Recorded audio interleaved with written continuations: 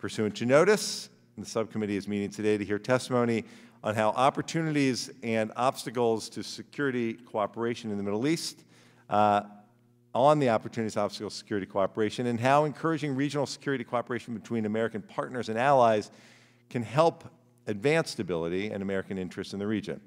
Uh, I see that we have a quorum. I will now recognize myself for the purpose of making an opening statement. Um, I will, um, I will be perfectly, I want to be upfront with my colleagues to say this being my, my last hearing, my opening statement may go slightly beyond five minutes, but only slightly if the ranking member uh, is okay with that. No objection. Thank you. Uh, thank you. Also, before I start, trying to keep it as close to five minutes as possible, uh, I, and I would like to extend a warm welcome to our witnesses, Ambassador Dan Shapiro, Andrew Exum, Linda Robinson, and David Schenker. Thank you for joining us today, what will sure be, surely be uh, an incredibly timely and critical discussion. But most importantly, I think for the first and last, first and last time, I would like to welcome to the hearing room and everyone watching virtually, uh, Jill Deutch, Gabby Deutch, and Serena Deutch, uh, my wife and daughters. Um, and uh, our son Cole may be watching, so I'm going to I'm to shout give him a shout out also. But um, it is nice to have them here. Uh, and um, I will recognize them later for questions. Um, now, uh, the good news is I never need to recognize them. They always feel free offering uh, questions and comments. Uh, but I'm grateful to have them here. Uh, as my tenure in Congress comes to a close, I've taken time to reflect on how I've changed, how the country's changed, and how the world has changed. And throughout my time serving on and then chairing the Middle East, North Africa, and Global Counterterrorism Subcommittee, the one constant has been change. Some of these changes have been challenging and heartbreaking. The loss of life during points of high tension between Israel and Hamas, sparked by Hamas rockets launched at civilians. The humanitarian catastrophes during the conflicts in Syria, Yemen, Iraq, and Libya, some of which continue to this day the near escalation into open conflict between U.S. and Iran, and of course, the COVID 19 pandemic. But in many moments, too, the change has signified hope and progress. From the spirit of democracy and freedom during the Arab Spring to the signing of the Abraham Accords. When the U.S. sponsored Abraham Accords were signed in September 2020, we could not have realized the incredible and cascading impact that it would have on the region and on Israel's relations with its neighbors. I was incredibly proud to have been on the White House lawn when the Abraham Accords were signed, a momentous occasion and one of the highlights of my time in Congress.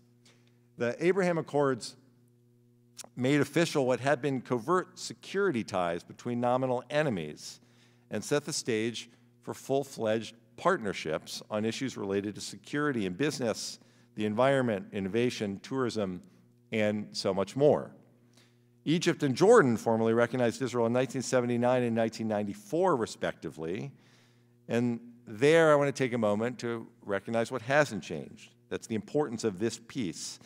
And it should never be taken for granted, nor should the immense leadership that it took on all sides to make peace possible. Jordan and Egypt continue to be important partners of the United States and Israel and are vital to the security and prosperity of the entire region. It remains abundantly clear that there is a commitment to continuing to advance these new relationships for the greater good of the region. I know that the Biden administration is committed to pursuing new normalization agreements and that many of us stand ready to help them succeed, just as many of us, Democrats and Republicans alike, supported the agreements when they were signed by the Trump administration. Normalization between Israel and Arab states is not a substitute for peace between Israel and the Palestinians, however, nor have we claimed it to be. Rather, these new ties present an opportunity to work together with regional partners to strengthen the Palestinian economy and continue to invest in people to people ties that help break down barriers and create pathways to lasting peace.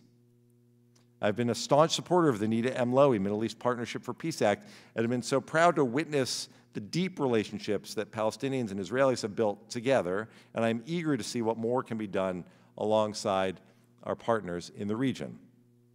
It is clear that these strengthened ties have ushered in a new era of opportunity for regional security cooperation, especially as the U.S., Israel, and our Arab partners in the Middle East share a common adversary in Iran. Iran has made its intentions to destabilize the region and wipe Israel off the map clear since before I came to Congress. When I arrived here, we were negotiating the toughest sanctions ever imposed on Iran. That was more than a decade ago. And today, Iran enriches uranium to 60%, something the IAEA Director General says only countries intent on building nuclear weapons do. To this day, Iran remains the world's largest state sponsor of terrorism and continues to support the terrorist proxy groups throughout the region. These groups, which Iran gives hundreds of millions of dollars to every year, have been responsible for the bombings of the U.S. Marine barracks and embassy in Lebanon, the attacks on the Israeli embassy and AMIA Jewish Center in Argentina, the rocket barrages from Gaza that kill countless Israeli and Palestinian civilians, and too many other terrorist attacks to list. And they have amassed more than 150,000 rockets, Hezbollah has, in South Lebanon, all pointed at Israel. What's more, the Iranian regime abuses the human rights of its own citizens and continues to wrongfully detain Americans for political gain. Siamak and Baquer Namazi, Morad Tahbaz, and Emad Shargi are Americans currently being held in Iran. And my constituent, Bob Levinson, was the longest held American hostage in history, believed to have died in captivity in Iran. A clear message must be sent to the regime that its practice of unjustly detaining Americans for political purposes is unacceptable and that the regime will be held accountable and punished for this illegal and barbaric behavior. Iran must immediately release all current wrongful detainees, provide closure to the Levinson family on what happened to Bob, and commit to finally ending this horrific practice once and for all. Frozen Iranian assets should go directly to victims and their families to fund damages won in U.S. courts from the Iranian regime. And Iranian assets should replenish the already established U.S. Victims of State Sponsored Terrorism Fund. So, as the international community has negotiated with Iran to re enter the JCPOA in recent months, Iran's malicious and dangerous behavior has continued throughout the Middle East. Now, just this week, Iran's president, Raisi, denied Israel's right to exist on American television, denied the reality of the Holocaust.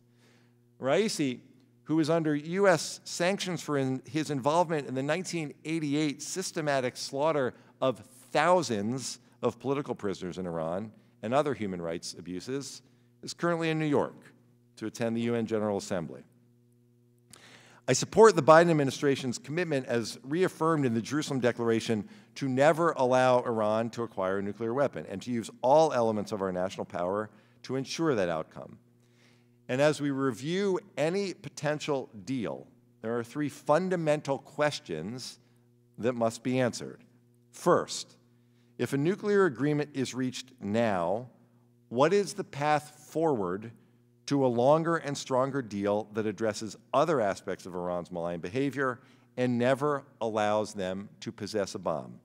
Second, on balance, does greater insight into Iran's nuclear program and dramatically reduced enriched uranium in Iran outweigh the immediate impact a deal would have on Israel, our partners, and U.S. troops as billions of dollars start flowing directly to the IRGC to be used for greater and more lethal attacks.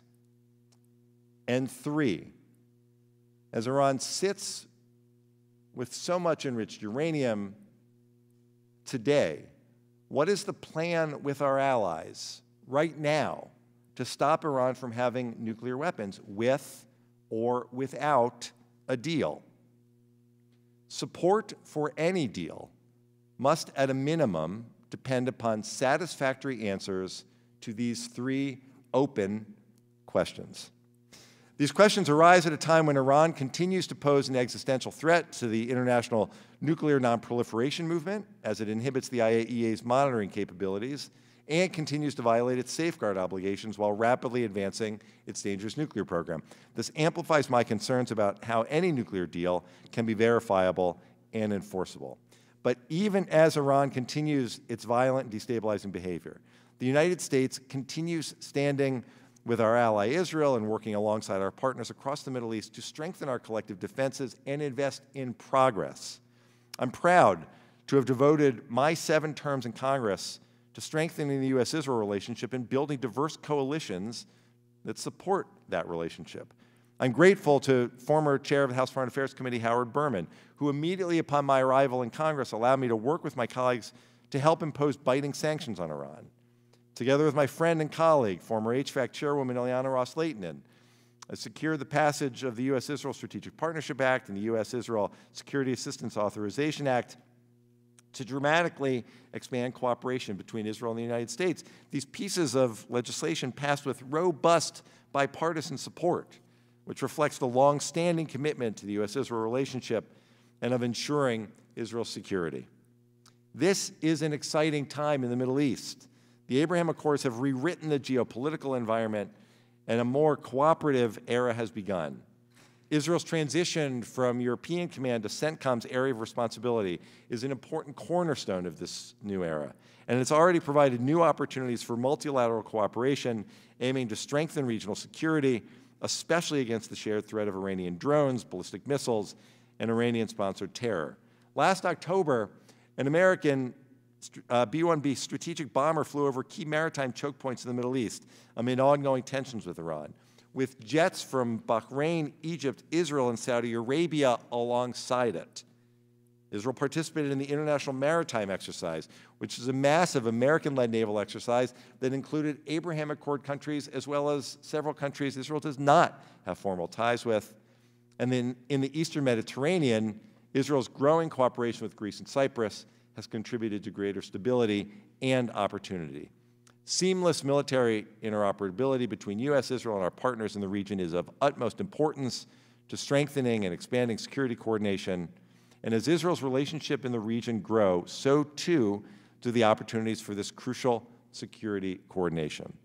I'm eager to hear from our witnesses today about the current security landscape across the Middle East, what momentum exists to strengthen collective defenses, what a regional security architecture could look like, and how these efforts will best counter our shared threats. And I want to close by saying just a few more brief words of thanks. First, to Chairman Meeks and Ranking Member McCall. thanks to both of you for leading the Foreign Affairs Committee with passion, drive, and a deep bipartisan commitment to strengthening American leadership around the world. Thank you uh, to my staff, uh, the staff of the full committee, and the staff of this subcommittee, but especially uh, especially uh, my staff. Sophie Mervis, the staff director, Jack Steinberg, professional staff member, Casey Kustin, longtime uh, go-to, former staff director and longtime go-to on all things Middle East uh, for staff across Capitol Hill. Uh, thank you for what all of my staff and our staff as a whole uh, does to make this committee work seamlessly and to make the work of this House work the way it does. And thank you to my colleagues on the subcommittee who have served uh, alongside me and will continue to underscore the value of our partners across the region and the importance of the U.S.-Israel relationship. Finally, a big thank you to my colleague and friend, Ranking Member Joe Wilson of South Carolina. Joe, it's been a pleasure to serve alongside you and to champion this important work together. Uh, I have learned so much from you and from all of our colleagues on this committee about your commitment to U.S. leadership in the world, about your commitment to advancing U.S. values, about what this committee and what this Congress can do to further both. Chairing this, uh, chairing this uh, subcommittee on the Middle East, North Africa, and global counterterrorism has been an enormous honor and privilege. And I hope that our efforts here will continue to reverberate in capitals throughout the region after I leave and as all of you continue this important work.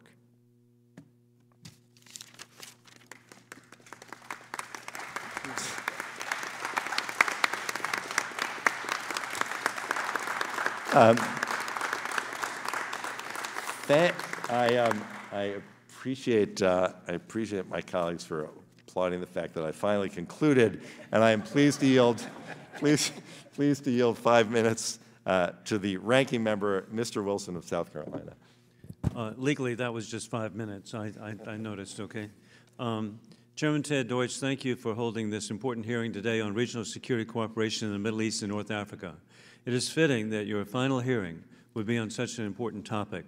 Your legacy and service on this subcommittee is one of bipartisanship, and I have been grateful to work together with you on significant initiatives such as the Libya Stabilization Act, the Mines Act, the Bassam Barabandi Rewards for Justice Act, and, and many others. And so there are a lot of specifics that can be cited, not just uh, in generalities.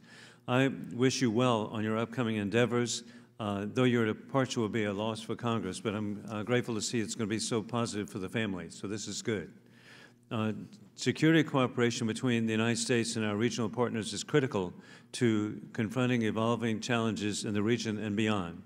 Normalization between Arab partners and Israel is essential to achieving mutual goals of countering malign influence and extremism. Over the last decade, with the opening of the U.S. Embassy in Jerusalem, and particularly since the signing of the historic Abraham Accords, we have witnessed unprecedented progress toward Arab Israeli relations and cross sector collaboration. I was grateful to be with Chairman Ted Deutch at the White House with President Trump for the signing of the Abraham Accords. Even countries that are not formal signatories have signaled an increased willingness for regional cooperation to address shared security concerns. Countering the terrorist regime in Tehran is and will remain a top priority for both Israel and our Arab allies, as well as the United States. Iran's growing missile and UAV program, in addition to its proliferation of regional terrorism, pose a direct threat to peace in the region. The existence of the people of Israel, as they promised to vaporize the people of Israel, and U.S. national security interests at home as ICBMs are being developed. Iranian-backed terrorist groups soon are going to be, could be empowered with sanctions relief, which would continue to wreak havoc in the region.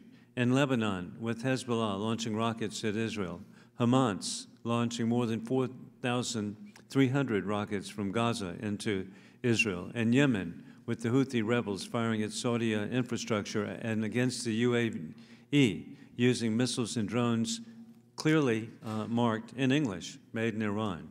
In Syria, Iranian-backed terrorists back murderous Assad and target uh, U.S. forces. In Iraq, Iranian-backed terrorist groups like the Badr organization vie for power, also targeting U.S. forces. The list goes on as Iran provides drones to war criminal Putin for the murder of Ukrainian citizens.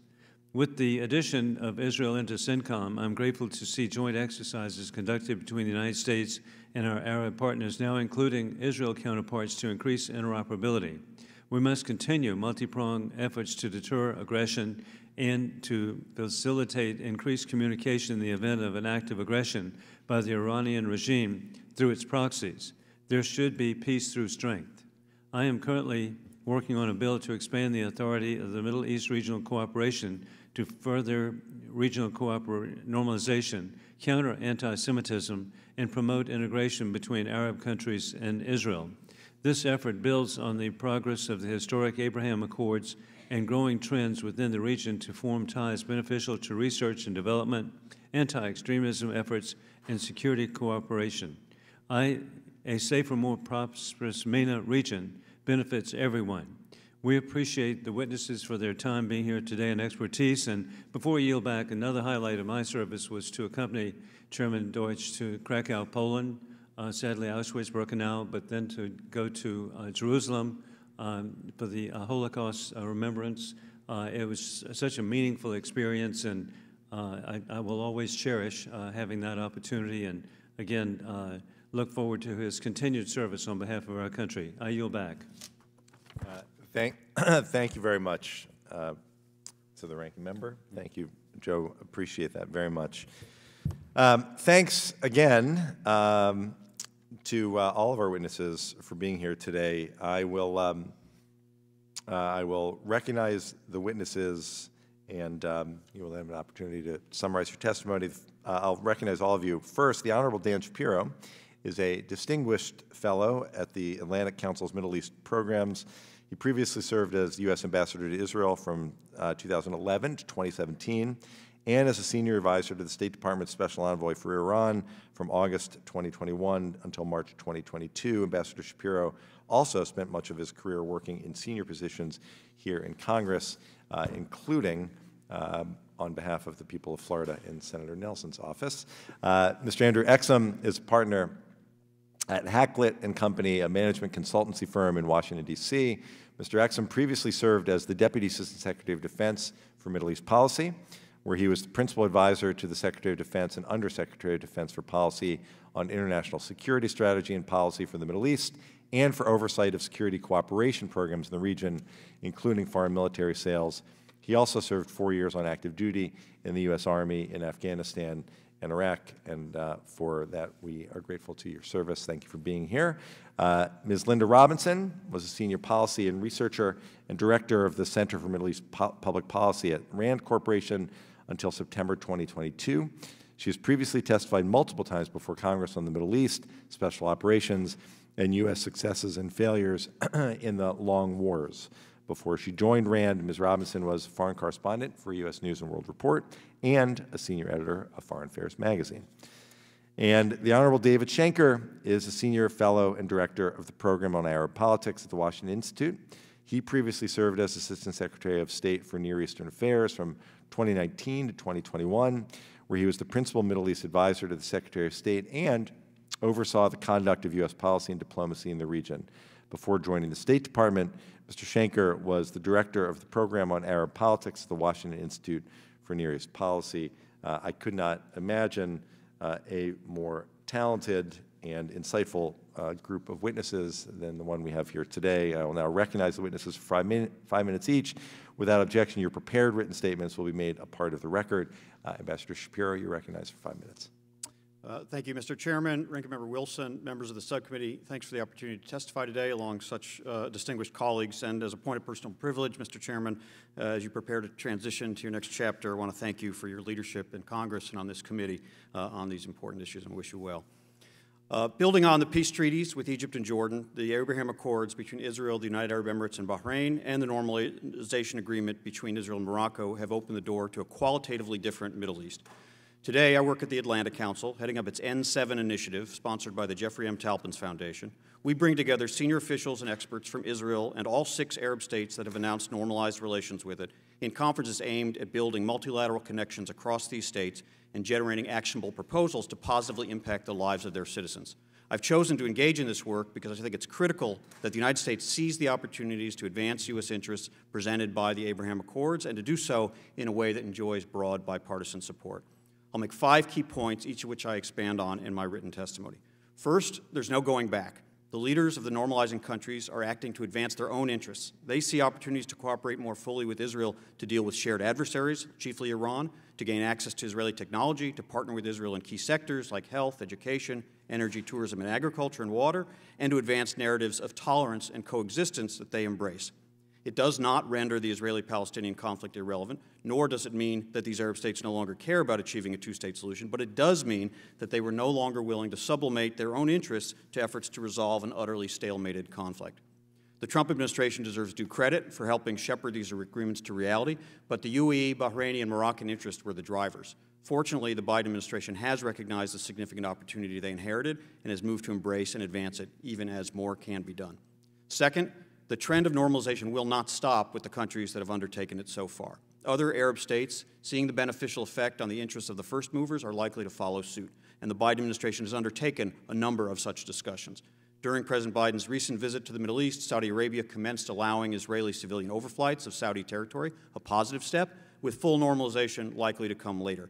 Regardless of the timing of the next countries, the trend ref reflects a deep attitudinal shift underway, certainly in the Gulf, but finding its way to other parts of the region as well. Arab leaders are increasingly describing it as only natural that Israelis and Arabs would live and work together, both reflecting and encouraging a different outlook, especially among younger Arabs. Third, normalization between Israel and Arab states presents significant opportunities to advance U.S. interests in the Middle East and beyond. By being the key partner of the new coalition emerging in the Middle East, supporting the normalization trends and providing necessary security guarantees, the United States gains in two ways. First, we are best positioned to ensure that the coalition is as aligned as possible with U.S. interests, emphasizing that U.S. partners need to stand with the United States when its most important interests are challenged by Russia and China, whether in Ukraine, on Taiwan, or in the Middle East itself. It also provide, improves policy convergence on regional issues around which we and our partners have sometimes differed, including the imperative to prevent an Iranian nuclear weapon, how to do so, and the need to sustain the viability of an Israeli Palestinian two state solution. On the latter, I would argue that the Abraham Accords are currently the only potential source of positive energy in the Israeli Palestinian arena, and in that regard, they should be viewed as an opportunity. Second, a cohesive regional coalition helps enable a sustainable U.S. presence in the region. Three consecutive administrations have expressed the American people's desire to avoid new major military entanglements in the Middle East. But we are present, and we must remain present to protect our own interests and our allies and partners. With regional states taking the lead together in tending to their own security and non-security needs, the United States can be, an active, can be in an active support role, but not always at the tip of the spear. Fourth, looking beyond normalization, it's not too early to think broadly and long-term about models of true regional integration.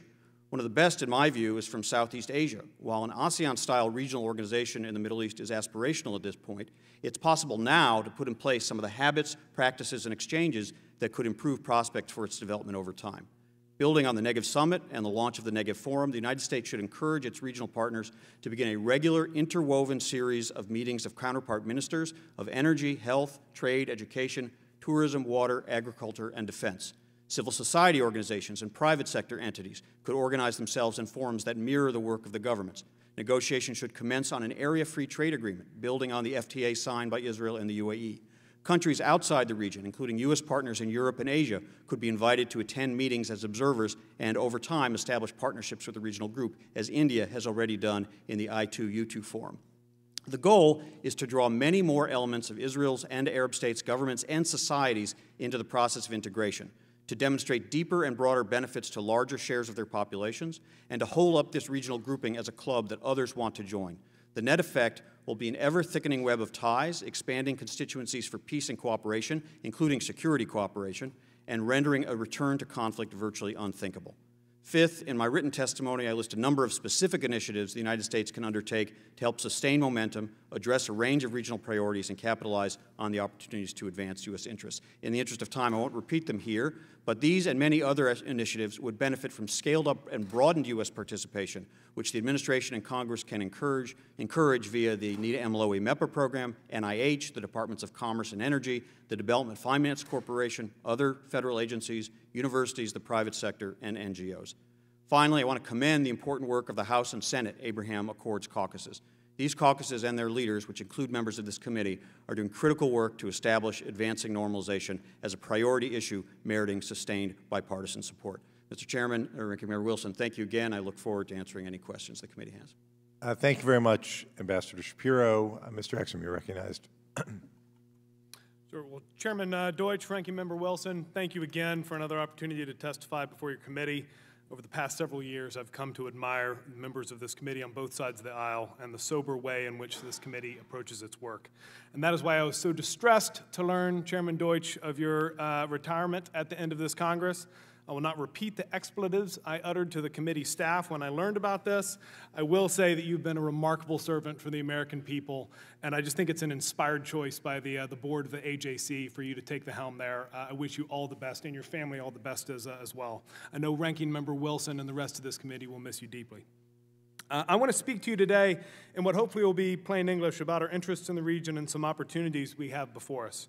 Uh, I'll pay a special attention to the security environment in the Gulf, given this hearing's focus, and can answer more questions during the Q&A.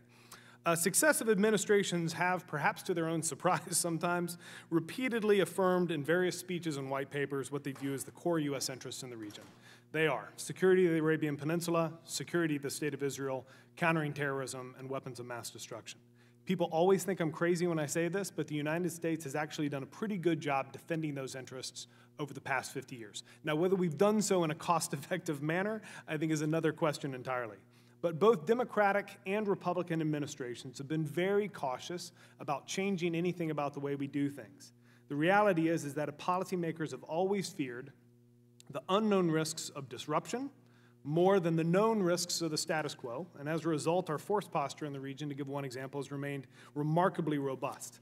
But I think the Trump administration's legacy is somewhat interesting and perhaps creates opportunities for the Biden administration and other successor administrations. And as one example, the Trump administration, I agree with, with what Dan said, deserves great credit for brokering normalized relationships between Israel and both the UAE and Bahrain.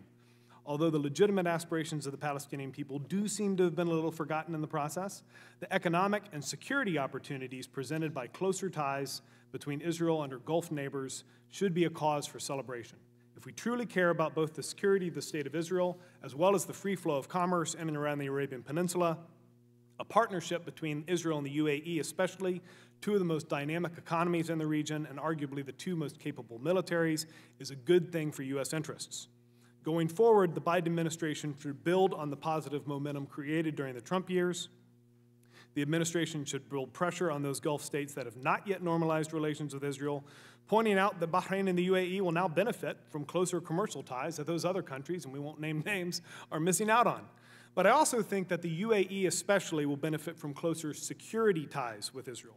I've spoken to this committee before about the way in which our efforts to develop the region's various militaries have frankly not been very successful. Despite roughly three decades of effort since the end of the Persian Gulf War, most of our would be partners in the Middle East still struggle to stand on their own militarily.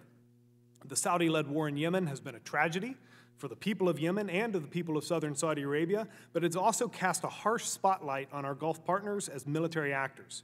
Bluntly speaking, despite billions of dollars having been spent, mostly I should add by the Gulf states themselves, most of our partners cannot make a meaningful contribution to even a U.S. led military coalition.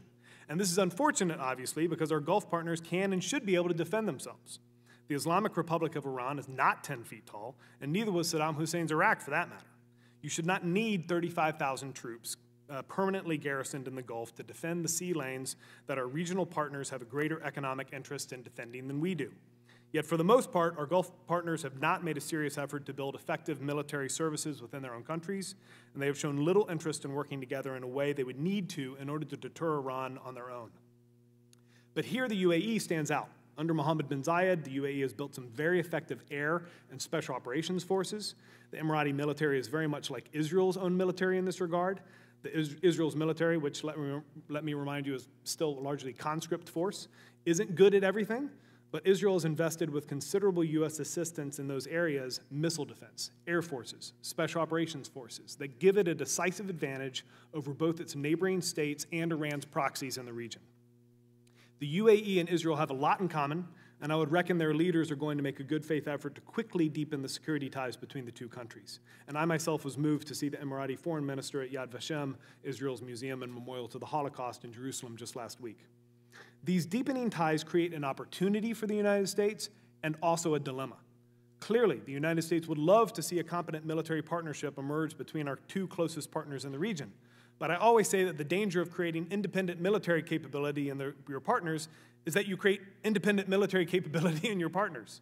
Uh, I have no idea which direction Israel and the UAE might choose to take their new partnership. Will their interests be aligned with U.S. interests in the region? Most of the time, probably. All of the time? I doubt it. Both Israel and the UAE have a history of what we might call military adventurism and what they would surely call looking out for their own interests, regardless of what their most important partner might think. Not only the Biden administration, but future administrations would do well to stay tightly lashed up with both Israeli and Emirati leaders. A closer partnership between our three nations will allow for greater burden sharing in the region, allowing the United States to devote more hard resources elsewhere. But at the very least, we need advance warning when our partners head off in more, shall we say, entrepreneurial directions. And we'll only get that if we take the time to walk alongside both states as they develop closer ties. And with that, I'll pause for further questions. Uh, thank you very much, Mr. Exum. And uh, next we will go to Ms. Robinson. You're recognized for five minutes. Chairman Deutch, Ranking Member Wilson, and distinguished members of the subcommittee, thank you for the opportunity to testify on security cooperation in the Middle East and North Africa. I'll briefly summarize my prepared statement. Over the past three administrations, the U.S. has been somewhat fitfully recalibrating its posture and approach to the Middle East. I co authored a study published by RAND last year, Reimagining U.S. Strategy in the Middle East which sought to identify effective and cost effective ways to rebalance the current investment of resources and attention to produce better outcomes. A key premise of this study is that the U.S. has important enduring interests in the region. One of our recommendations was to invest more time and energy in an enhanced regional security cooperation framework so regional partners and allies could do more and to decrease the need for U.S. military action. We suggested exploring a Middle East version of the Organization for Security Cooperation in Europe, or OSCE. An OSCE like option would offer these specific features. It would be an inclusive organization that includes non Arab regional powers and a cooperative multi issue approach to managing and reducing conflict. This will be distinct from a NATO like collective defense treaty organization with an Article 5 commitment to mutual defense. That option appears infeasible given the divergent interests of the regional players and the outside parties' lack of incentive to make such a commitment. Creating an OSCE for the Middle East would be a valuable long term project given that the region lacks an inclusive organization and is plagued by numerous conflicts. In the short term, however, there are three current opportunities to improve security cooperation. These can be pursued simultaneously, and they can be part of an incremental process to build a region wide organization. The first opportunity is the expansion of the Abraham Accords normalization agreements from a purely bilateral process into the multilateral Negev Forum.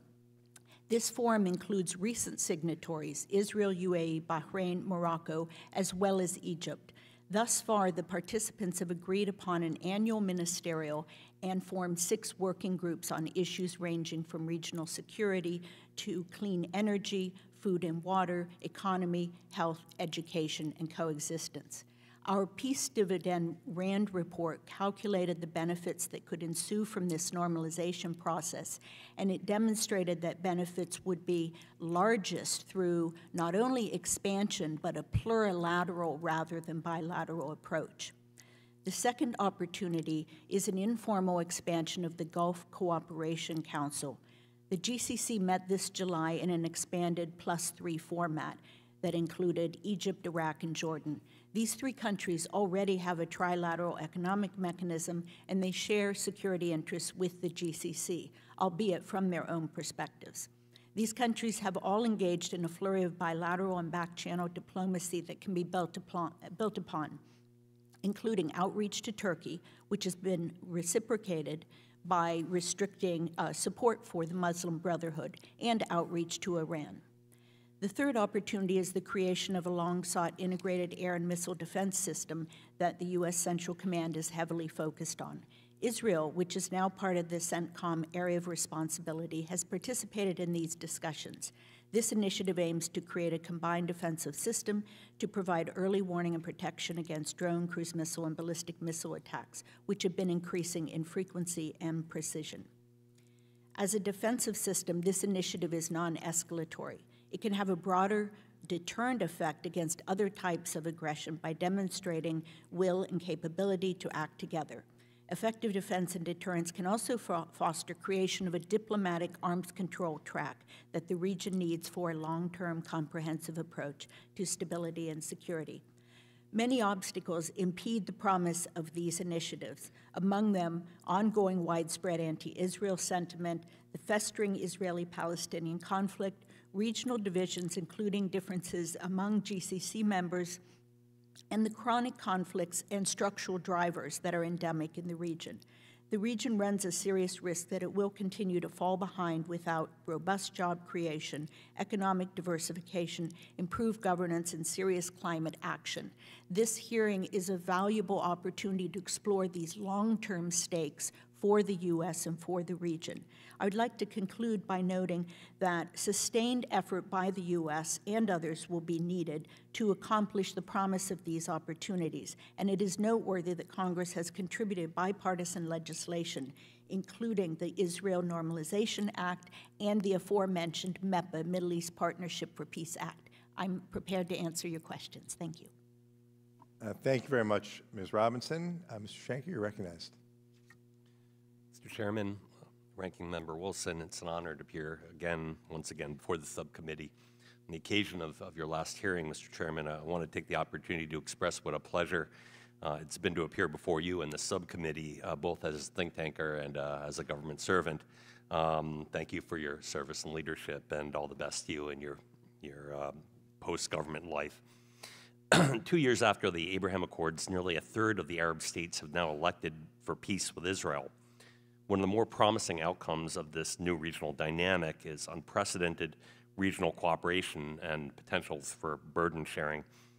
What is de uh, developing is significant, but it's much less than the Arab NATO evoked by King Abdullah. Rather, it's a U.S. supported regional strategic cooperation initiative focusing on countering Iranian missiles and drones, involving the sharing of radar information and the integration of layered missile defense systems. The so called Middle East Air Defense Alliance uh, is already, according to Israel's defense minister, operational and thwarting Iranian attempts to target the region.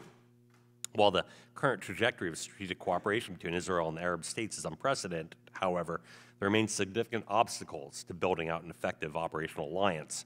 First, inter Arab rivalries. Arab states do not get along particularly well. The Gulf Cooperation Council, or GCC, is characterized more by competition than, than cooperation.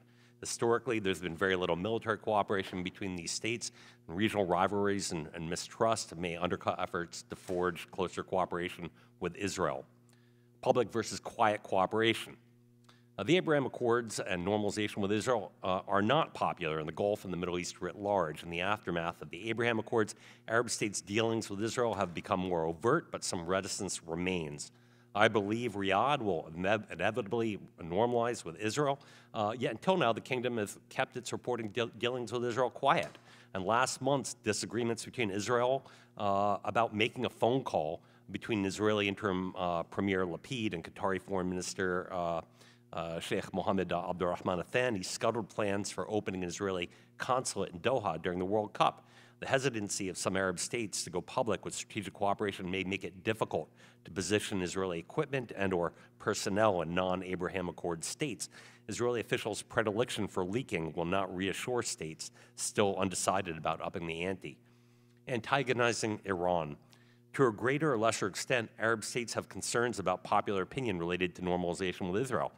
These states are equally, if not more, apprehensive about how Tehran will respond to closer strategic cooperation with Israel. Uh, since 2019, uh, the IRGC has repeatedly warned Gulf uh, states about pursuing security ties with Israel. Early on, Abu Dhabi sought to preempt these threats by announcing it would not allow Israel to base uh, military aircraft on the territory. Uh, while radars are not as menacing as F-35s, uh, I'm sure these will also be seen as problematic by Tehran. The key question for these Arab states is how closely uh, can they coordinate with Israel until Iran responds, either directly or via its proxies? Then there's the question of sharing what with whom. Strategic cooperation between Israel and its Arab partners is a positive development. At the same time, however, some of Israel's best potential partners in the region have increasingly close relations with China. If Israeli equipment, some of which has been co-developed with the United States, is deployed abroad, measures will need to be taken to ensure the technology is not compromised. Some of the Arab states that Israel is hoping to strengthen its strategic cooperation vis-a-vis -vis Iran uh, are also currently leading the efforts to help Iran bust U.S. sanctions. Uh, finally, um, uh, to conclude, the, the, regional security partnership uh, between Israel and Arab states has great potential to help Washington's friends uh, and allies in the Middle East better defend against the growing Iranian missile and drone threat. But it's important to have reasonable expectations as to the limitations of the cooperation. While the Arab partners are at best non democratic, if not authoritarian, they still have considerations about public opinion. Furthermore, the capabilities of many of these Arab states remain limited, uh, as Andrew Exum said. Um, Israel as well continues to lack sufficient capabilities in aerial refueling and ordnance to accomplish certain missions vis-a-vis Iran. In this regard, while helpful, uh, the Middle East uh, Air Defense Initiative is no panacea. The new strategic architecture made possible by the Abraham Accords is an important new element of burden sharing, but it's not a plan B for when Iran truly becomes a threshold nuclear state. Even if regional strategic uh, cooperation achieves its full potential in defending against the missile and drone challenge, the United States will remain the indi- indispensable ally of its regional partners in countering the Iranian nuclear threat. And um, with that, I'll con- conclude, and I'm I'm pleased to take your questions. Thank, excuse me, thank you very much, uh, Mr. Schenker. Thanks to all of our witnesses for their excellent testimony. I will now recognize members for five minutes each. Pursuant to House rules, all time yielded is for the purpose of questioning our witnesses. And uh, because of the hybrid format of this hearing, I'll recognize members by committee seniority, alternating between Democrats and Republicans. If you miss your turn, please let our staff know, and we will circle back to you. If you seek recognition, you must unmute your microphone and address the chair verbally. Uh, I will, um, uh, I will reserve my time until the end, and um, therefore will start by recognizing Mr. Cicilline of Rhode Island for five minutes. Thank you, Mr. Chairman, and uh, I want to begin by thanking you for your extraordinary leadership of this subcommittee. I have the privilege of serving with you both on this committee and on the Judiciary Committee and feel particularly blessed by that. You are beloved as our chairman of this subcommittee. You leave an extraordinary legacy of um, wisdom and bipartisanship and of making a real difference uh, in this region of the world. And I- we all know that you are going to do great things at the American Jewish Committee. And we look forward to continuing to work with you. You will be missed, and uh, you have heard me say this before, but you are one of two people that I look to when I have difficult votes on the House floor as sort of my North Star because of your thoughtful and wise and serious work on both committees with which I serve you. Um, and just want to wish you well and say how much you're going to be missed. I also want to say welcome to Jill uh, and to Serena and Gabby. Uh, and uh, I know they're incredibly proud of the work you've done on this subcommittee, but on the work that you've done in Congress, and are looking forward to the next chapter of your life with them. So, bravo to you. And AJC's win is our loss in so many ways. Uh, thank you to the witnesses for your um, really important testimony. I, I want to begin um, where you sort of left off, Ms. Robinson. You know, we've obviously seen the Iranians in so many different ways use their proxies to create instability and, and, and to undermine American national security interests in the region. And I'm wondering where you see sort of the best opportunities for regional security cooperation. And Ambassador Shapiro, if you could also speak to that, kind of what are the impediments to that, both within the Abraham Accords, outside of the Abraham Accords, and um, you know what are the what are the impediments to the kind of architecture that you described, Ms. Robinson, and what can we do to facilitate that?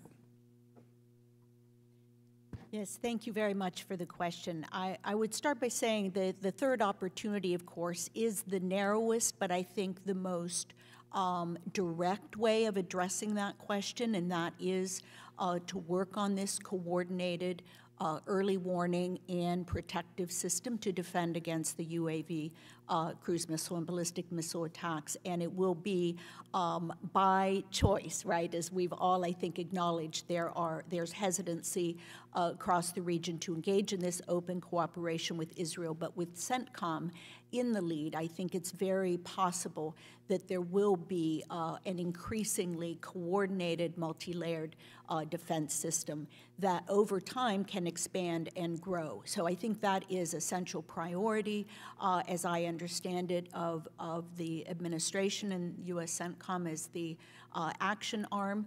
And we've seen, I think, a lot of um, discussions below the radar that will allow uh, for this to progress. The, uh, as mentioned, I think, by David, of course, there have been some actions taken through the coordination involving countries like Iraq. So even though, for example, Iraq has a law recently passed uh, punishing any over coordination or cooperation with Israel, uh, I think there's a lot that can be done under the radar. There's also technical uh, challenge, very much, and this is where it's very interesting to see the Israeli technology may also become uh, a key factor in building this, uh, that countries can acquire the uh, now in test phase Iron Beam, Iron Dome, the multi-layered system, and this could provide another avenue for protection beyond uh, what the current Gulf states investment are largely focused on the Patriot and THAADs. Thank you.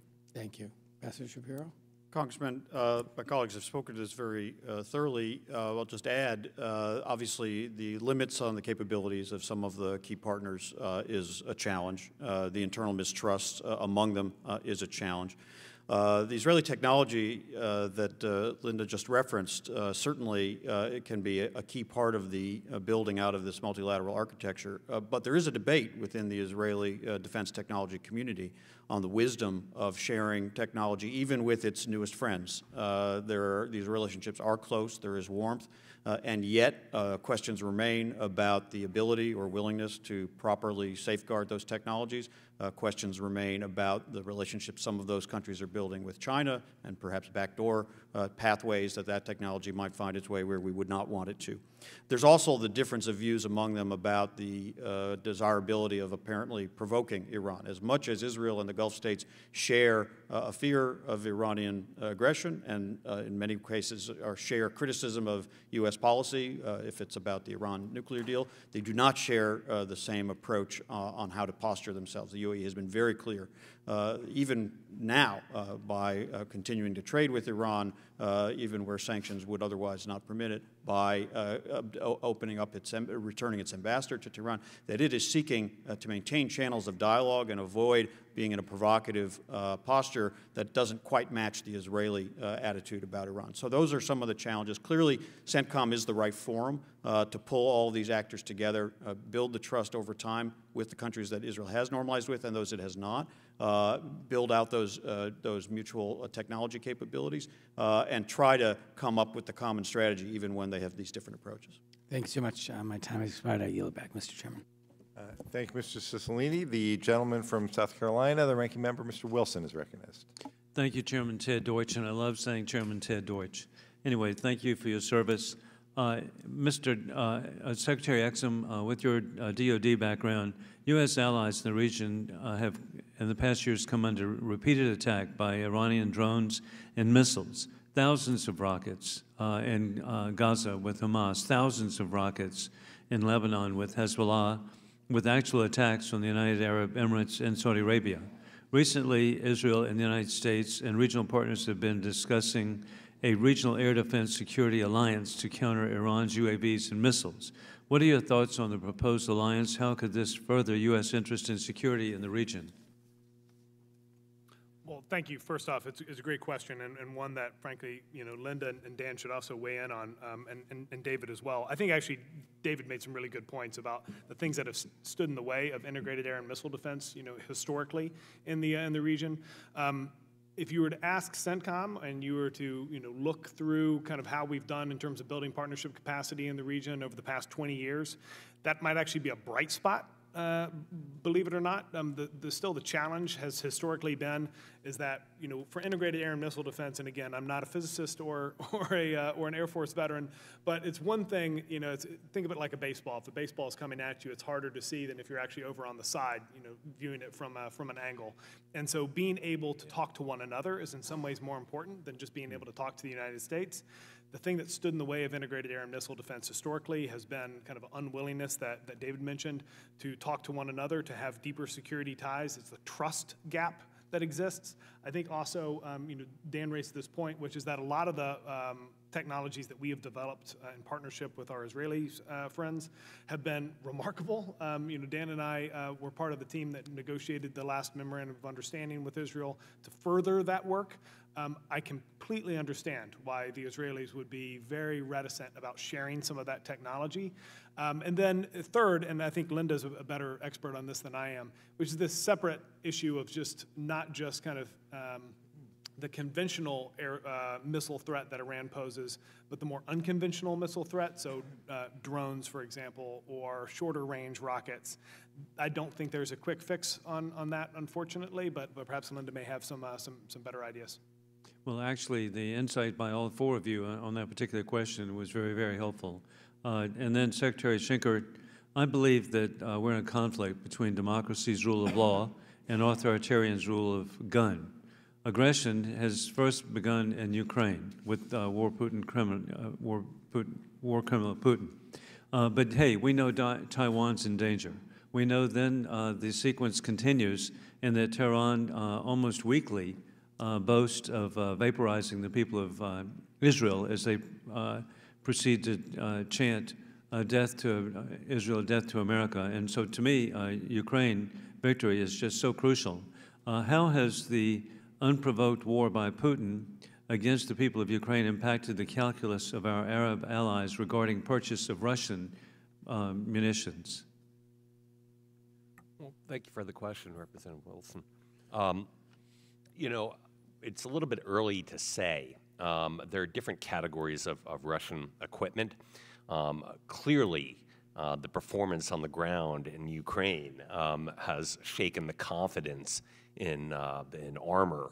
Um, um, as for the aircraft, I think we're still seeing uh, countries moving ahead with fifth generation um, Russian aircraft, as well as the S 400, famously, um, anti ballistic missile system. But I think you're going to see, in terms of um, ground and armor and artillery, I think you're going to see uh, um, a real, um, real slowing of Russian military sales in those areas.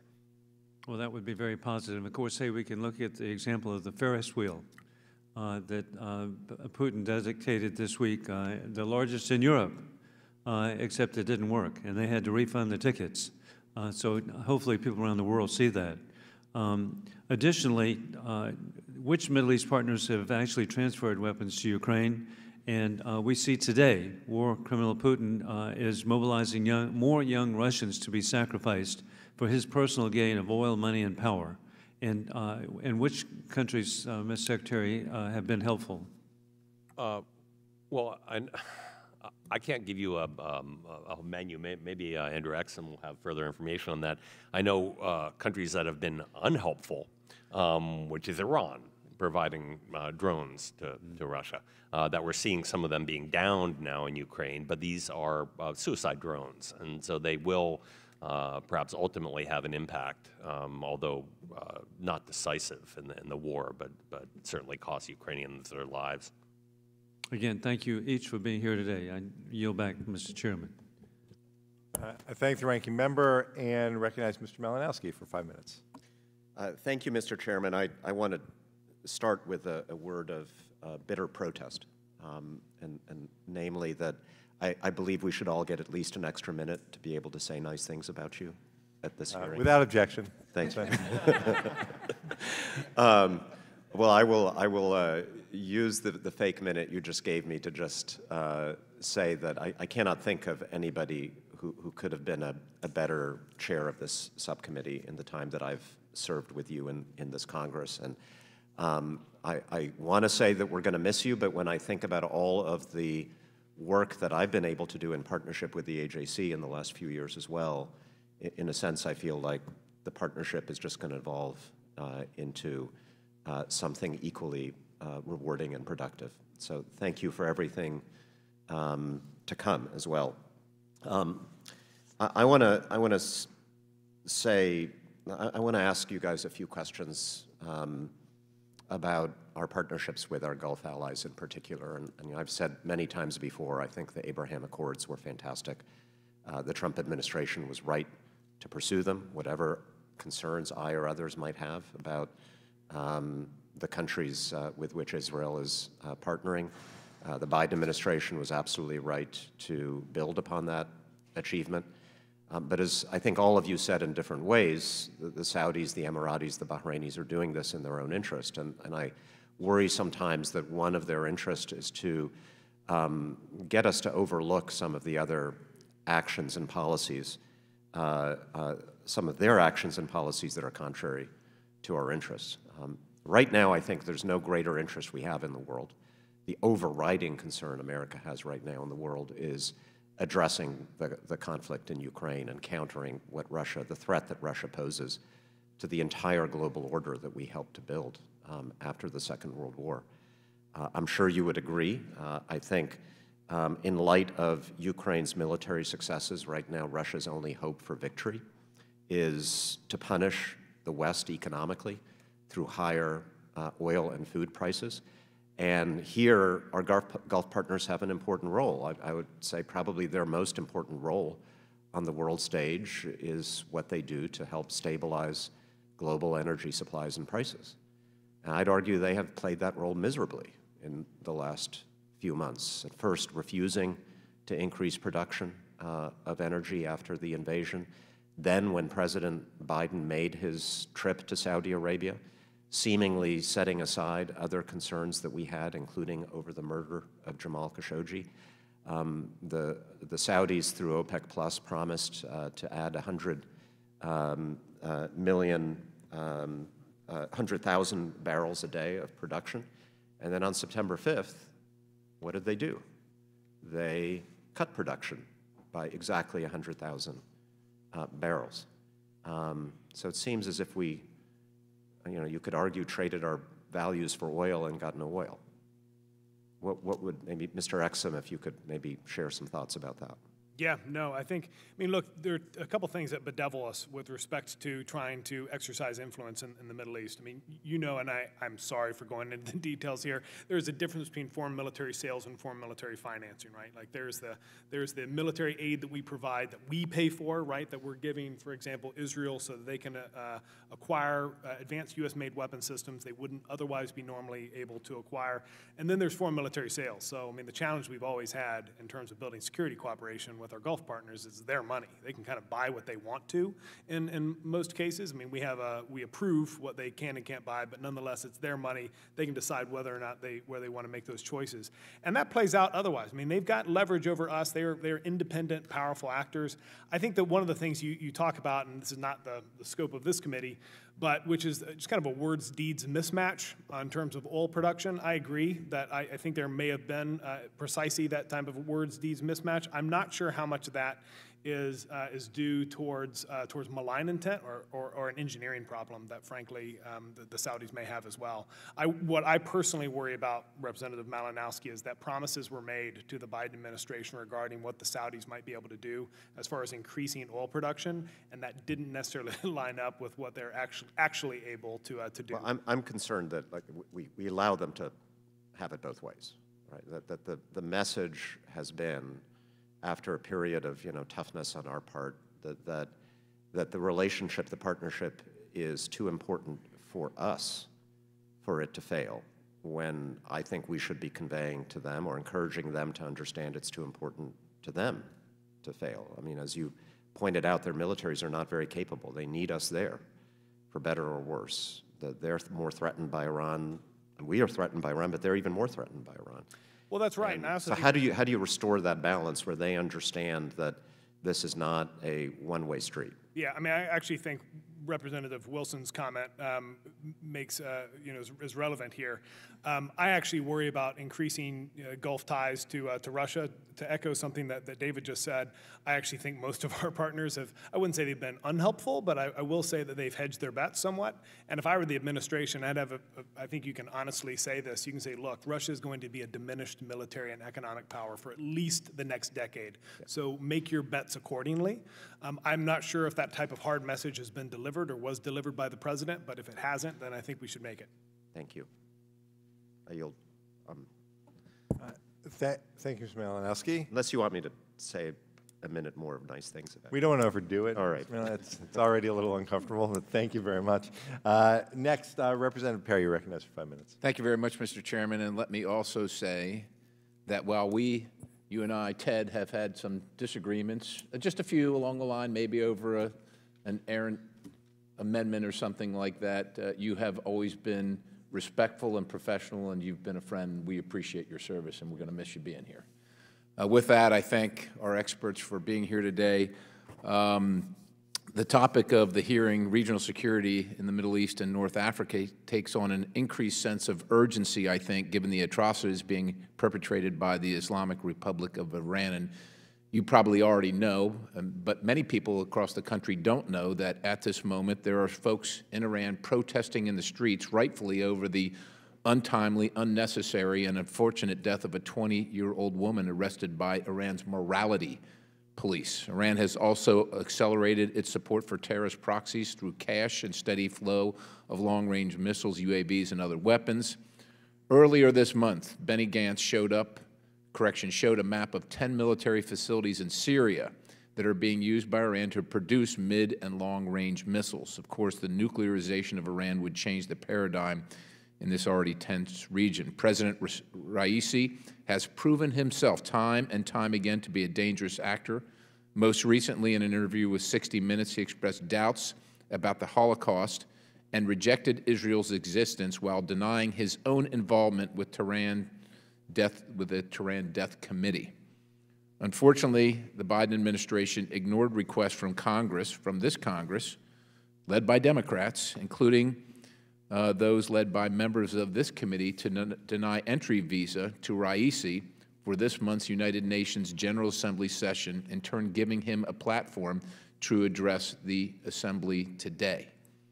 Given this clear threat, we should be building on, this, on the historic Abraham Accords, and I agree with my colleagues on the other side of the aisle about that for sure.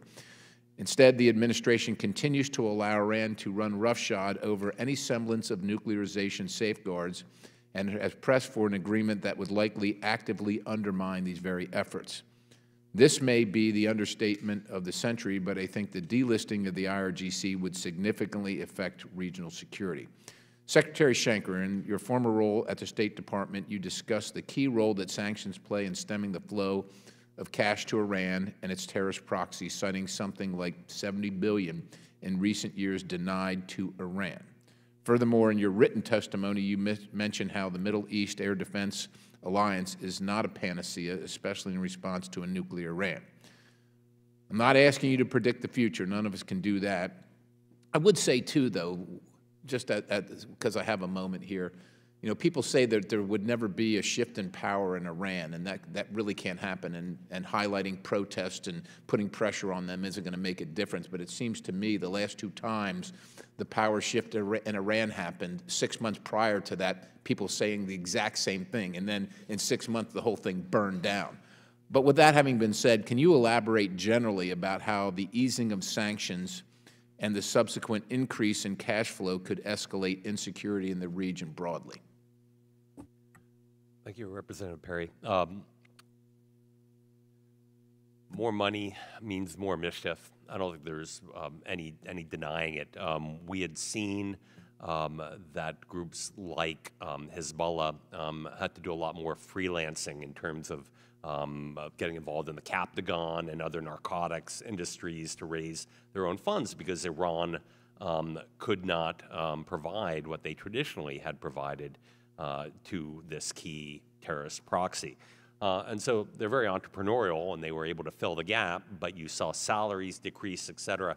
Um, there will be more, and Iran will be uh, have more largesse, able to uh, redouble its efforts for programs like the Precision Guided Munitions Project, um, making Hezbollah's dumb rockets into smart uh, missiles, um, further threatening Israel. Um, rearming, taking this opportunity to rearm and better equip the Houthis uh, in Yemen, which after this ceasefire collapses, which there are signs it, it may, um, will make them more lethal, more dangerous to our allies, our partners, Saudi Arabia, the Emirates, um, across the region, um, planting the flag, uh, missile factories in Syria, um, basically forcing Israel to go out and mow the lawn um, on a weekly basis, right, hitting targets.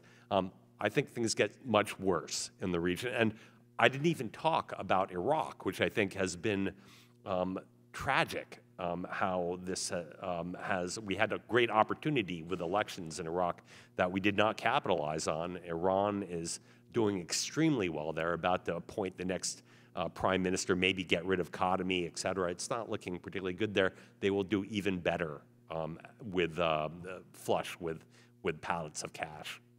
Thank you, Mr. Chairman. I yield.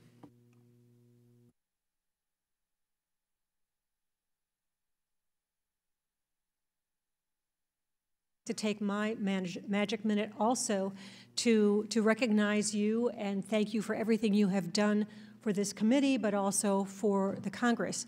I want to say that getting to serve alongside you in my role as vice chair of the subcommittee has been a true privilege and certainly one of the highlights of my time in Congress. You've done an extraordinary job leading in this subcommittee and setting the tone for those of us who are dedicated to a strong U.S. Israel relationship. Uh, and I, I know uh, we will miss you, but I know we have not seen the last of you. So thank you for everything you've done. Uh, Ambassador Shapiro, it's nice to see you here today.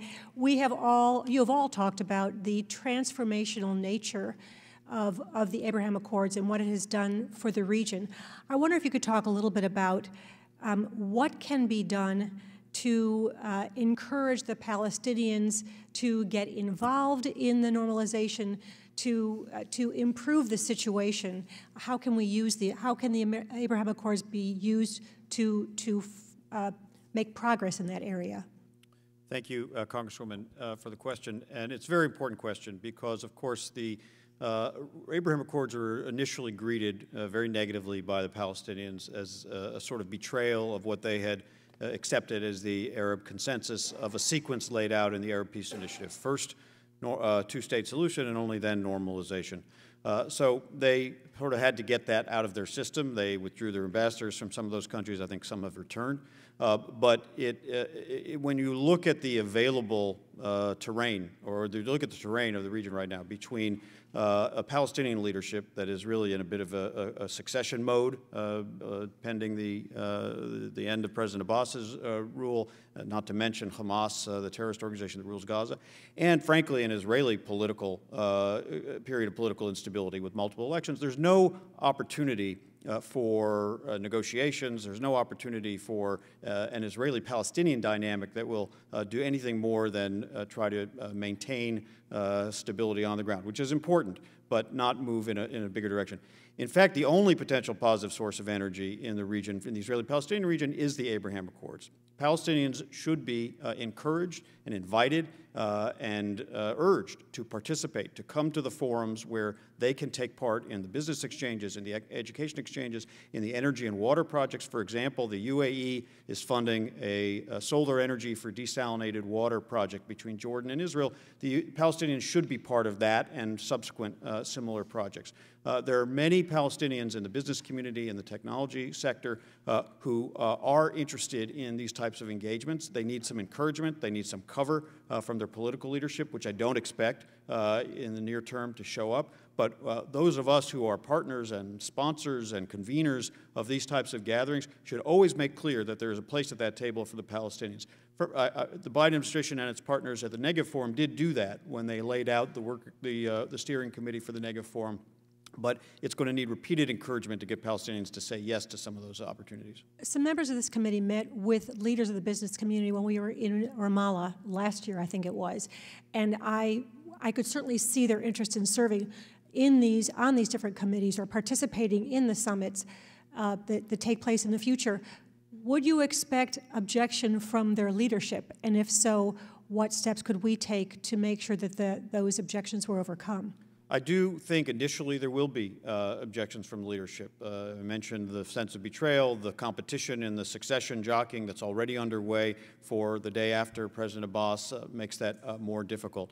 But in fact, all of these Arab partners who are now building these relationships with Israel also are, uh, at least they say, uh, committed to achieving a two-state solution. It should be the case that when uh, Israel is at the table with those Arab partners, with the United States still committed to that outcome, uh, and draws Palestinians, whether initially they're uh, unofficial Palestinians and maybe at some later stage, uh, some those with connections to the Palestinian Authority, I think the conversation begins to change. Uh, that Israel can no longer, uh, for its part, uh, ignore the interests of its new Arab partners in trying to make progress in this. Those partners have resources, some of them anyway, uh, that can drive economic improvements on the ground in the Palestinian uh, territories uh, that will undergird uh, some future negotiation. So there is an opportunity here. Uh, it will require a, a, sort of pressure and consistency toward Palestinian leaders who are very reluctant to embrace uh, this opportunity or view it as an opportunity, but there underneath them, there are a lot of Palestinians who do see it in those terms. Thank you. Ms. Robinson, you have a lot of detail about uh, your thoughts about how we can move forward in this region. I wonder if you could tell us just a little bit about what can countries that are not part of the Abraham Accords do to prepare themselves, to prepare their publics for normalization with Israel down the road? Thank you uh, very much for that question. Um, and I think that there is um, a certain uh, dialogue already going on in many of these countries as they see the demonstrated effects of the Abraham Accords on increased trade, tourism, travel. uh, and just certain of these taboos being uh, broken. I mean, I think many probably members of this uh, subcommittee have been to Dubai, seen the opening of kosher kitchens. AJC has an office open there. There are lots of things happening uh, that are frankly uh, astonishing, and visits are occurring. Of course, Morocco, there's always been, I think, a, a warmer uh, relationship, but I think the UAE has been particularly uh, emphatic and vocal, and we uh, visited there. I've, I've been to the region multiple times this year to both Israel and uh, the Emirates and elsewhere. And I think the um, senior leaders of the Emirates are emphasizing they want a warm peace and that this year is critical. They believe for their own interests they need to show results. So I think the demonstration effect is what's actually uh, most powerful. And I think the dialogue that is occurring with other Gulf states is important, um, notwithstanding certain sensitivities about public meetings. I think it was very important when Egypt showed up at the Negev Summit uh, signaling a desire to join in that collective process. And that's, I guess, the theme of my remarks have really been can the region cross the bridge from a highly bilateral approach to more multilateral approaches? And I think the Negev Forum provides an opportunity for a dialogue for the countries to bring their interests together, which is why I also think the project of an OSCE like organization is so important to put on the table and begin knowing it's a long term project to work toward it. And I think countries can begin to see ways to address their issues across this menu uh, through such a process. Thank, Thank, thank you. I have many other questions for our other witnesses, but my time has expired and I yield back. Uh, I Uh, I thank the Vice Chair. Um, Thank you for your participation. Thanks for the kind words. And I yield five minutes to Mr. Mast. Thank you, Mr. Chairman. Uh, Yep, thank you, Mr. Chairman, and I also, I want to thank you for your service uh, as well, a fellow Floridian, and, and I absolutely, I wish you the best in your future endeavors, I I really do. Um, I have some questioning for Mr. Schenker, uh, if you don't mind. I want to talk a little bit about Israel and Lebanon, uh, something a little bit different than what we've been speaking about so far. And you look at some of the numbers to date, uh, somewhere around two and a half billion dollars with a B in security assistance to the Lebanese armed forces since you know 2006 is the number that I had in front of me. So part of the reason uh, for that for that assistance is to serve as a counter to Hezbollah uh, who we know, you know, absolute terror in the region, uh, but they still operate quite freely uh, on the, the southern Lebanon area along Israel's northern border and in violation of the United Nations Security Council's resolutions. Um, the Hezbollah leadership, they're constantly threatening Israel. Again, this isn't provocative. We all know this. Uh, and we could foresee in the future uh, a, a, conflict, uh, certainly between Israel and Hezbollah in Lebanese territory uh, could be very justifiable there. So, what I want to understand is given the dollars that we've put into the Lebanese armed forces, the military, the rifles, the bullets, the ordnance, the everything there, in your opinion, how can we ensure that U.S. assistance to Lebanon, those bombs and bullets that, that we participated in, in uh, purchasing over there, uh, are not used against our ally Israel. And to go beyond that, what speculation would you give about why that assistance has been given, but the follow through of uh, extracting Hezbollah from that border there has not been able to take place?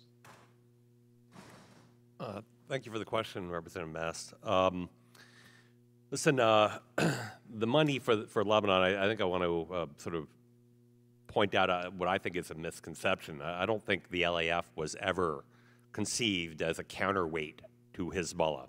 Um, back when I was in the Pentagon during the Bush administration, um, we started giving money to the LAF after the Lebanese people rose up and, and ended the Syrian occupation, that there needed to be some source of uh, public security um, and domestic counterterrorism against Sunni Muslim terrorist groups.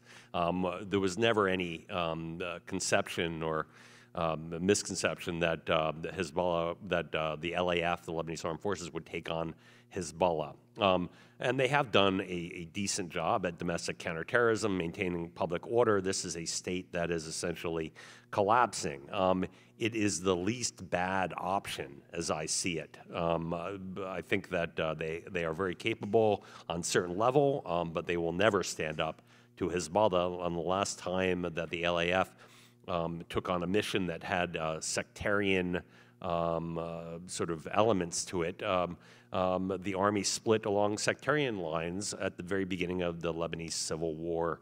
Um, so I, I, would anticipate uh, this is something they will not do. But meanwhile, the LAF is key in um, in the role it should be playing in the South in facilitating uh, UNIFIL um, uh, looking, searching for um, illegal weapons um, uh, in South Lebanon. And in fact, according to um, reports, the LAF is actually playing a role in obstructing uh, the role of, of UNIFIL there. Um, and this is incredibly problematic, and it's not enough to just call them out. Um, I think we have to uh, have a real um, heart to heart with the, with the LAF about um, what we expect of them, um, uh, because um, right now, while, while, better than nothing, uh, it is certainly uh, problematic. You know the old saying, uh, six of one, half dozen of another, and, and it sounds a little bit like that. Uh, and I, I think I extracted from your answer, they have capabilities they don't necessarily have the will because of uh, the, the lines that some of their uh, you know nationals find themselves drawing, um, which is to be expected. Uh, let me ask something uh, in this respect: that do you think our assistance uh, has found its way to supporting Hezbollah?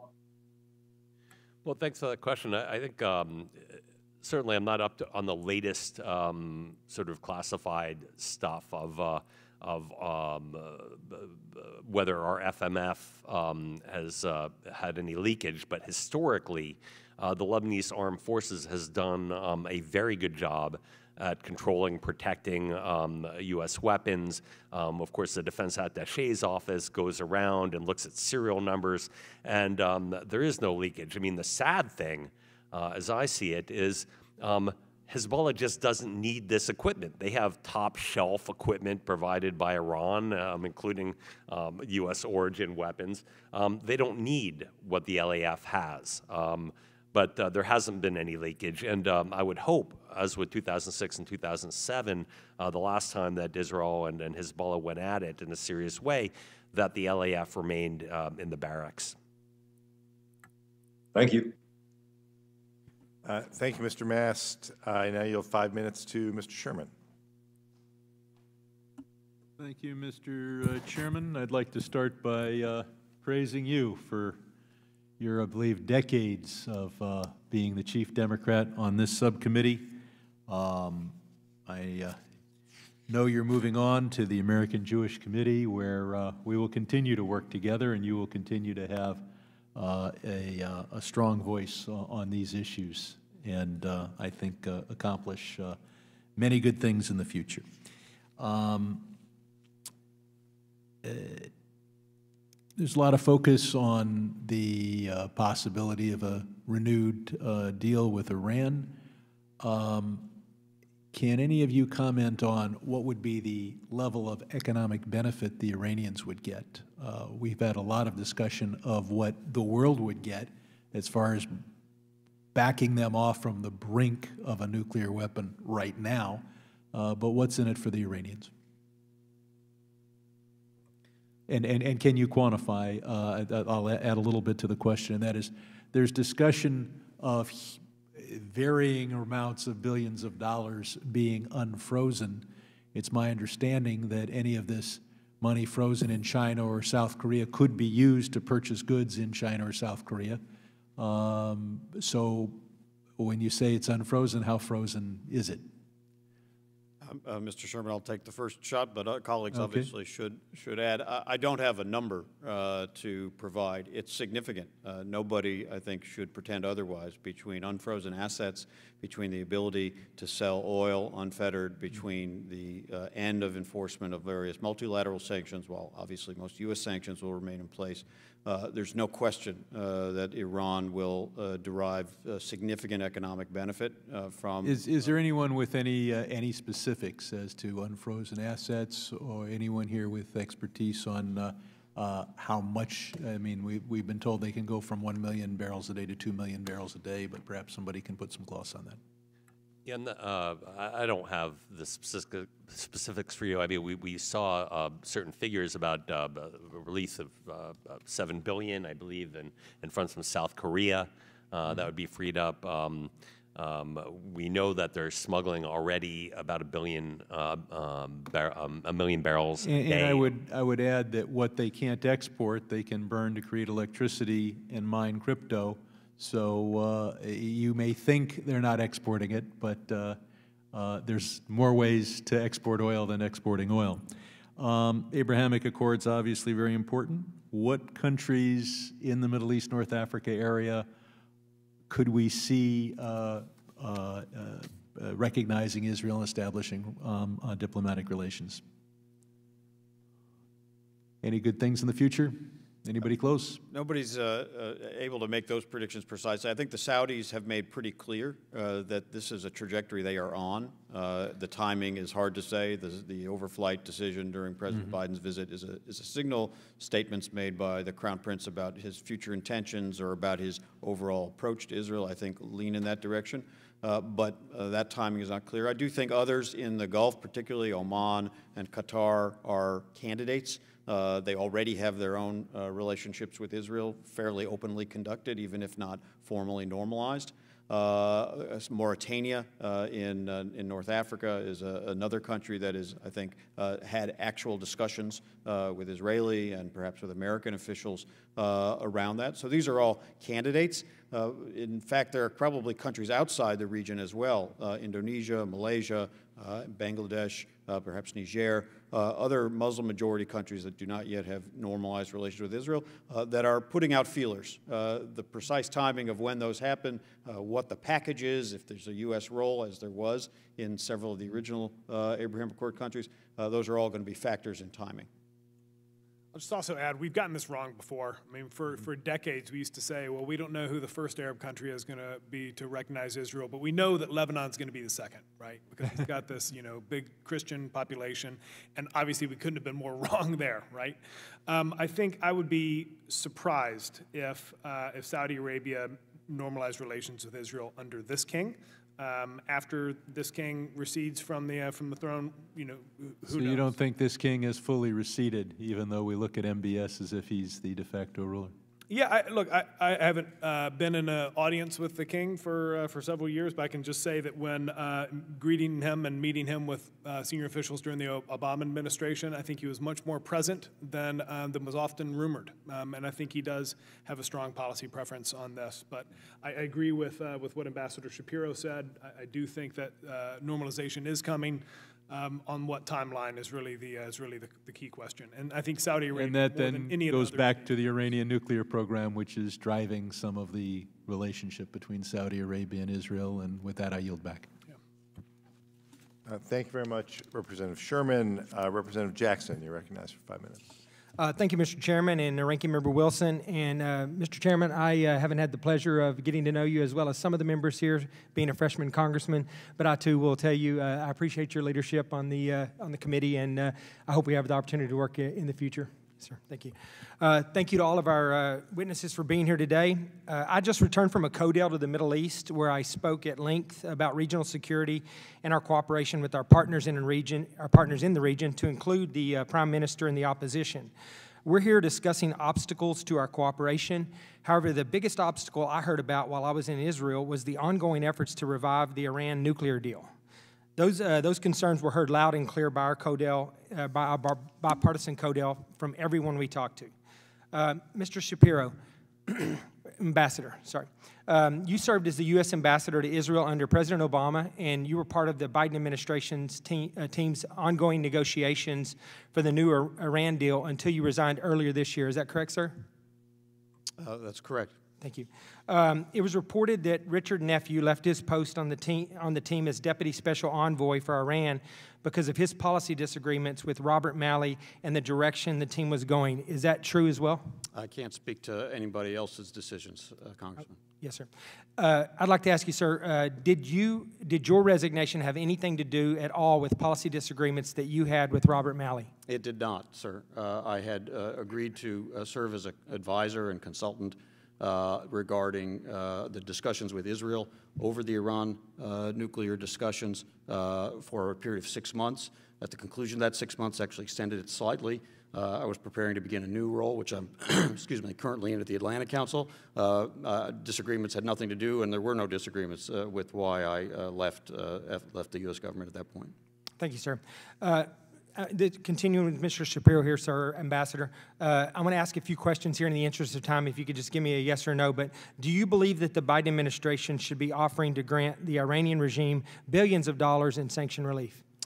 Uh, it's hard, yes or no question, uh, Congressman. I believe the Biden administration faces a very difficult dilemma uh, whether to restore a nuclear agreement that would buy a certain amount of time, not that much, and uh, not as much as the previous agreement, and keep Iran at some distance from a breakout capability at the cost of very significant sanctions relief, which we know Iran will use for nefarious purposes, or uh, the current situation where Iran is effectively already a nuclear threshold state. Uh, and without the agreement, that will be the new reality we will, go for, we will have to deal with going forward. That's a very tough situation, and uh, the decision uh, is between two very bad options.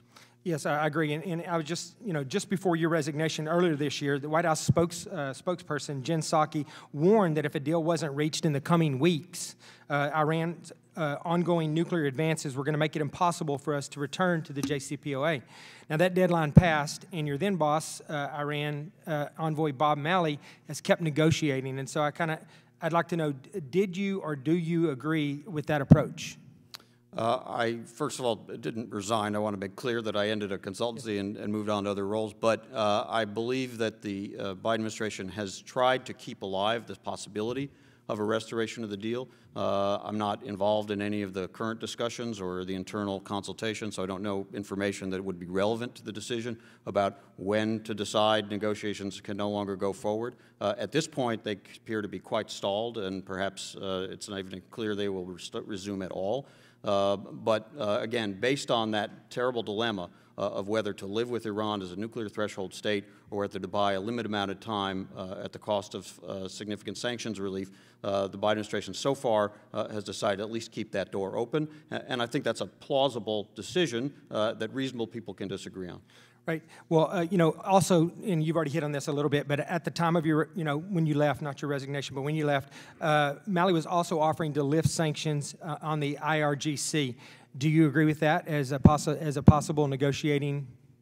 Well, what I know is that President Biden has removed from the table the, op- the option of uh, lifting or removing the IRGC from the Foreign Terrorist Organization uh, list. And considering uh, the IRGC's uh, well documented uh, sponsorship of numerous terrorist organizations and conducting its own terrorist operations around the region, uh, I strongly agree with that decision.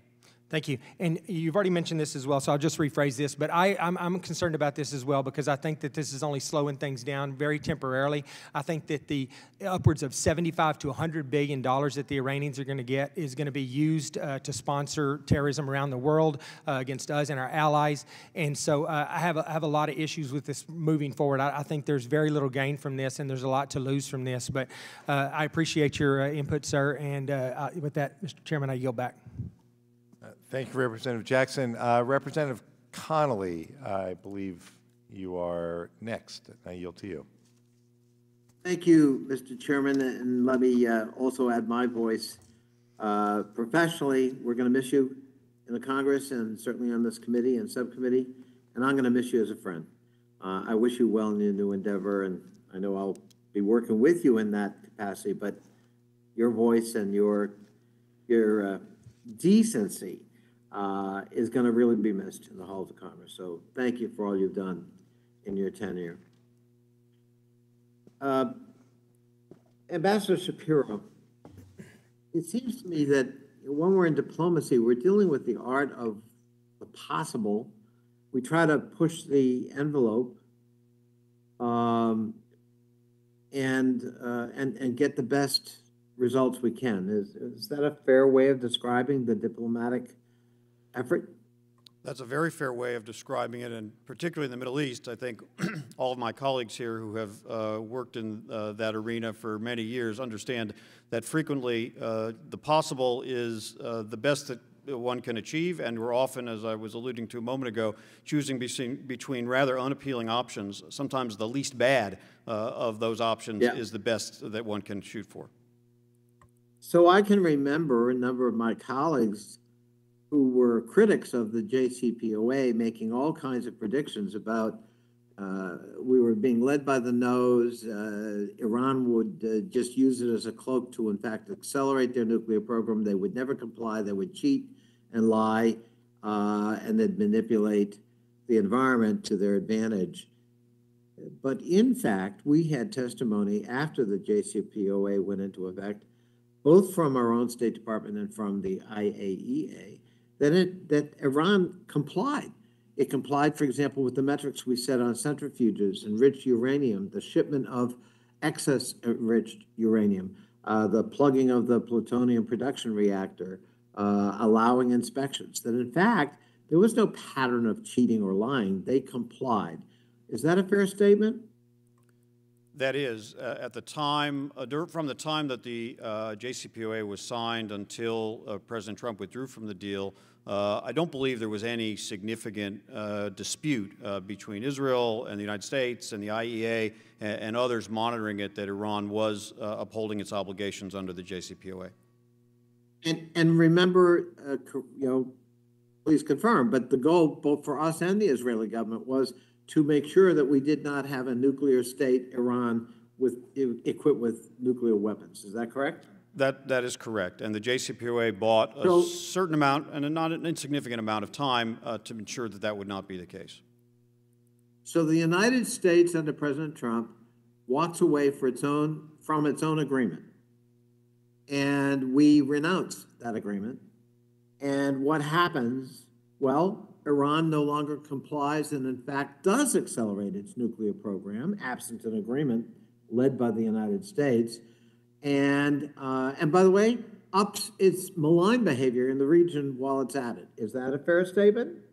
Uh, Definitely, once uh, the United States was no longer abiding by the agreement, Iran began to violate its commitments under the agreement. That has led to the current situation where it has enriched a significant amount of uranium far beyond the limits the JCPOA permits and at far higher levels than the JCPOA permits, to the point where they currently possess enough uranium, if they were to en- enrich to weapons grade, they could probably produce five or six weapons. They have not, that we know of, made a decision to weaponize, But- so there's a certain amount of time built Mr. in. Ambassador, oh, but I want to just underscore, all of that happened after the United States renounced its own agreement, the JCPA, which Iran was complying with. That's correct.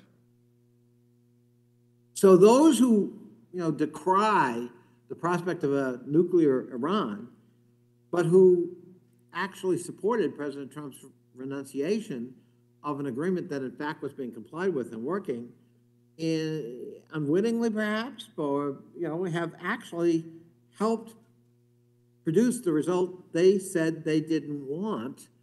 And I guess I want to give you an opportunity, if we're not going to revive this agreement in some fashion, what are our options?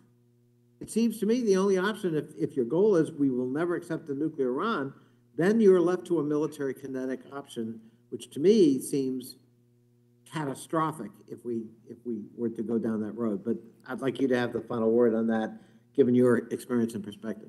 Well, President Biden has committed, and he said it again during his visit to the region, that he will never permit Iran to have a nuclear weapon. Uh, he believes uh, that uh, restoring this agreement, even though it buys less time than it would it did originally, uh, is still the best way to buy the most time to prevent that.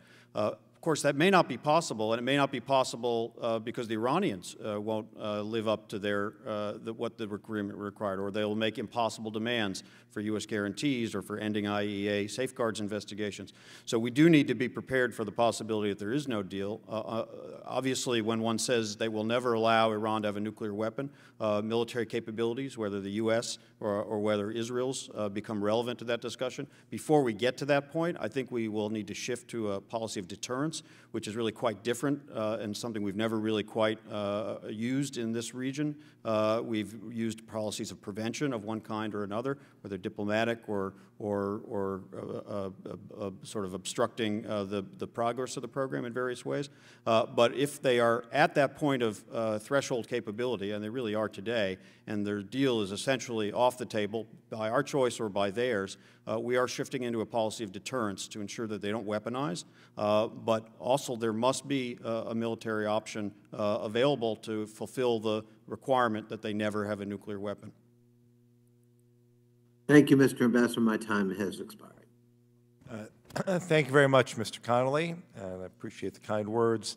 And with that, I will yield to Mr. Burchett for five minutes. Thank you, Mr. Chairman. Add me to that list of um, others that are singing your praises, I guess. Um, I just wanted to, I'm just glad that you will continue to be a thorn in our side in your newest occupation.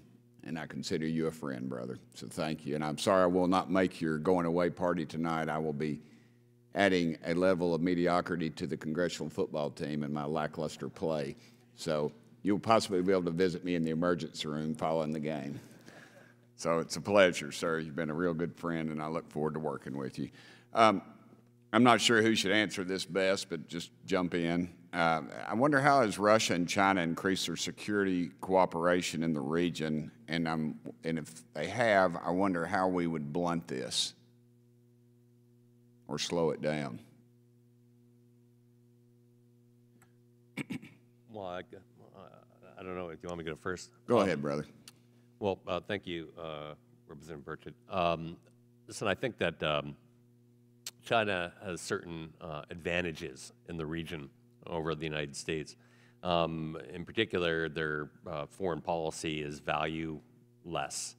You know, there's uh, they don't care if you kill dissidents or make women wear hijab or uh, have dungeons, etc. Um, and this is uh, appealing for many states. Plus, um, the United States has a, a very long procurement process um, for FMF and, and FMS, um, congressional approvals, that sort of thing. Uh, so uh, these are shorter timelines, and there are just some things that we don't sell. Um, you know, our best Arab ally, Jordan, had to go out at one point and buy Chinese drones because of MTCR issues that we have that we would not we would not sell them to them. And so uh, there are certain things, and, and, uh, and, I would mention Saudi Arabia, where the Wall Street Journal reported that China and, and, and Saudi are jointly building a ballistic missile factory in the kingdom. Um, because obviously we won't sell them that, but this is something they see as important to their defense facing off against Iran in the region. And so um, they are making some headway, but the packages are, uh, I think we still remain uh, the partner of choice. Um, but uh, yeah, this is uh, an issue. And to blunt that, um, we have to think, I think, more creatively about how we, we sell weapons and what weapons we sell to what partners.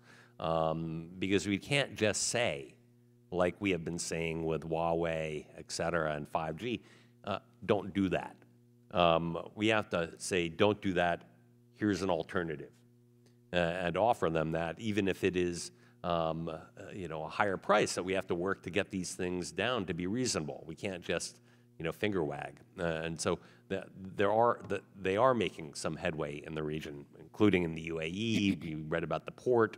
Um, you know, uh, other countries in the region are looking at uh, Chinese ports. This is not um, not a great thing because, of course, even if they say they are commercial, there is no such thing as a private corporation in the PRC.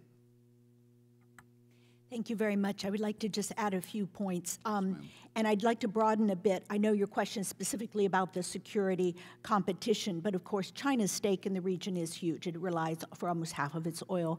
Uh, it's become the top trade and investment partner, and it is a ready and eager supplier of all kinds of commodities. But the drones, are, I think, are a particularly attractive um, item right now. And the fact that the uh, Chinese are also, as one um, uh, senior official put it to me, they're very quick to answer our calls. So I think this kind of gets to demonstration of ongoing U.S. interest in the region and willingness to be a steady partner. We, for years, used this partner of choice uh, rhetoric, but I think there's deep concern in the region about whether we have staying power and talk about us uh, pivoting away because precisely we're more concerned with China and Russia. To which I argue, and many others argue, the primary battleground for this competition is in the Middle East, so we need to stay engaged. The complex process of which Congress is a critical partner of uh, deciding which arms and to which partners, uh, I think can uh, be uh, examined, but I think it's very important to have agreements, clear agreements, and enforceable agreements uh, about end use for these technologies. As Andrew had said earlier, we do not want to give uh, uh, technology a way that is used to conduct war in another country. It should be, in my view, primarily for the defense, agreed defensive purposes. And I think that's actually a very important part of the values uh, the, of the country. So we have a serious competition with China and Russia.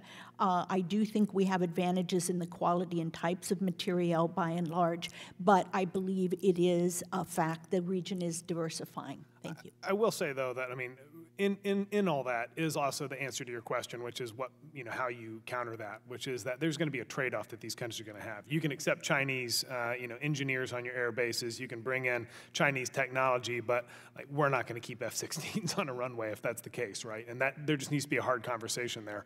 Just we didn't mention Russia before uh, the war in Ukraine. I was extremely concerned about creeping Russian influence, less so in the Gulf, certainly across North Africa and, and the Levant. Um, that's got to be less of a concern now, and I think it's just a you just have a blunt conversation with our partners in the region. We talked about this a little bit earlier. You just say, look, you know, for the next decade at least, these guys are a diminished power, militarily, economically. Look what's going on in Ukraine. These, this is the gang that can't shoot straight. You don't want to throw your lot in with these guys. Thank you, Mr. Chairman. I yield back no time to you. Uh, Thank you, Representative Burchett, and uh, be careful tonight.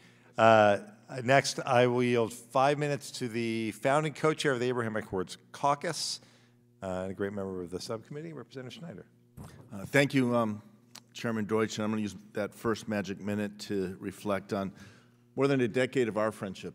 I remember first meeting you, I remember joining you uh, on the Middle East North Africa Committee. You have been an extraordinary friend and a mentor. Your leadership, your outstanding leadership has been demonstrated with your vision, passion, and wisdom, and we are going to sorely miss you. I wish you luck in your next endeavor. So thank you very much. Uh, and I want to thank the witnesses both for your time here, but also the work you're doing. As uh, the chairman mentioned, mentioned, I was pleased to found the uh, Abraham Accords Caucus with my colleague Ann Wagner from this committee, uh, Cathy McMorris Rodgers and, and, David Trone. It is bipartisan, it is bicameral. I think that's a reflection of the significance and importance we recognize within Congress uh, of, of, these accords, both for its prospects to bring prosperity and, and, and peace into the region, but also uh, the security that it, it provides. Uh, you can't have one uh, without the other obviously. So um, I thank you for that. And uh, along those lines, in addition to the accords, and um, uh, Ms. Uh, Robinson, you mentioned this, the, the Defend Act that was introduced by the co-chairs of, of the Accords, as well as our, our, our colleagues um, Don Bacon and Jimmy Panetta, is critical by promoting that, both the, the collaboration but also the coordination of, of defense uh, within the region. I was hoping you could expand a little bit. I was intrigued by your comparison to the OSCE as perhaps an analog to what we can achieve uh, in the region.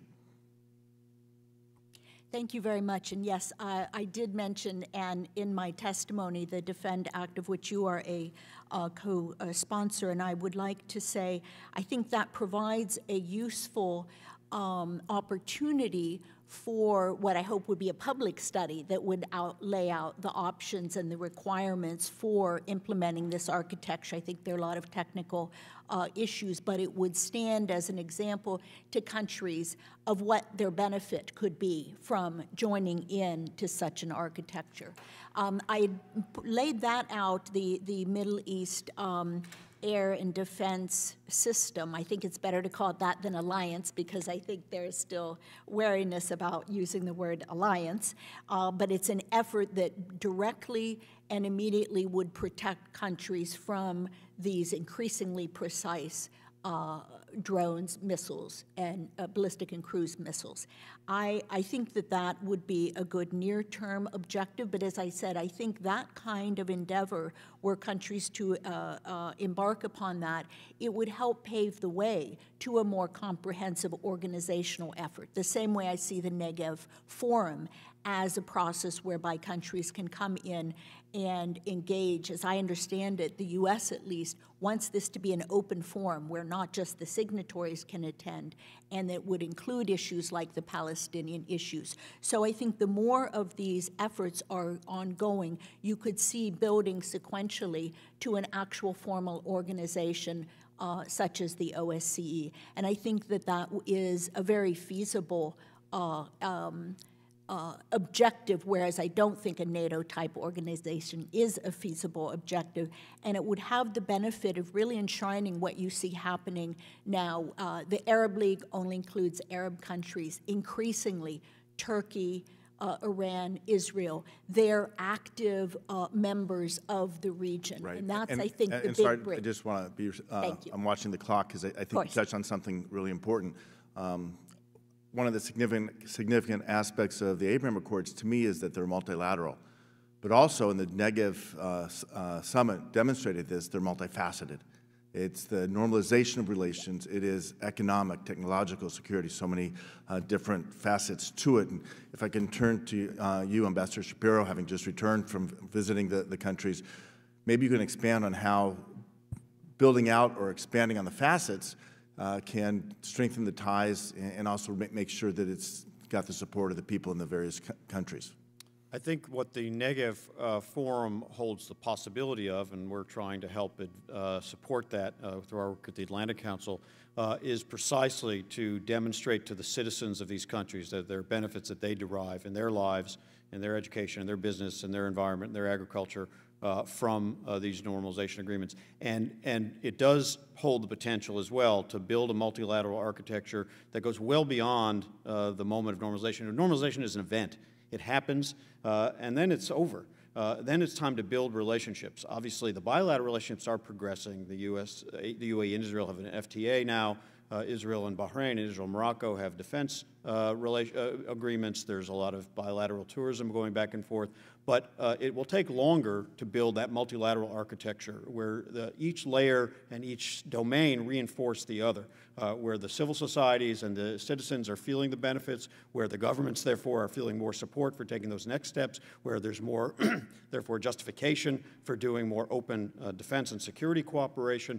Uh, all of these layer on top of each other, and whether it's an OSCE style agreement uh, organization or an ASEAN style organization, I think that really needs to be the goal. It's well beyond the moment when embassies open in each other's countries. It's when you actually build a regional architecture where everybody contributes and everybody benefits.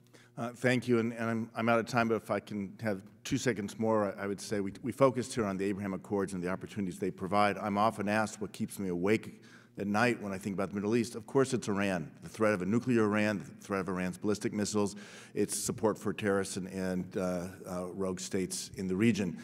But it's the Abraham Accords that give me the confidence that um, uh, we can work to find a way to thwart Iran's ambitions and work with our allies in the region to make sure first Iran never gets a, a nuclear weapon, but also that Iran's influence is, is countered and our interests are protected. With that, I yield back. Thank you very much, Mr. Schneider. All right, uh, Mr. Allred, I think, is on his way, but uh, I will go ahead and yield myself some time. I, I wanted, excuse me, I wanted to follow up on both the challenges of Iran and the opportunities of the Abraham Accords.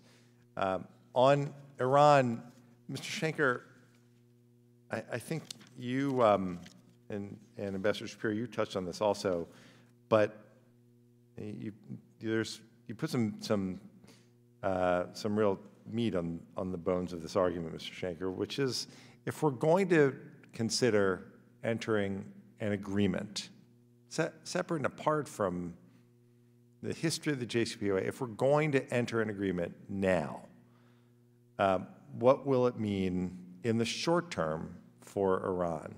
And you suggested more money for precision-guided missiles, rearming Houthis, um, missile factories in Syria. You talked about the concerns that are in uh, about Iran's activities in Iraq. Can, can you take that one step further? What? Because I, I just think, to be fair about this, this is not a question of we have a deal or we have nothing. We have a deal, and I'm going to get to the what happens if there is no deal. But but under under a deal with access to all of those funds, what does it actually look like in the region in six months or a year? How different is it from what we see today?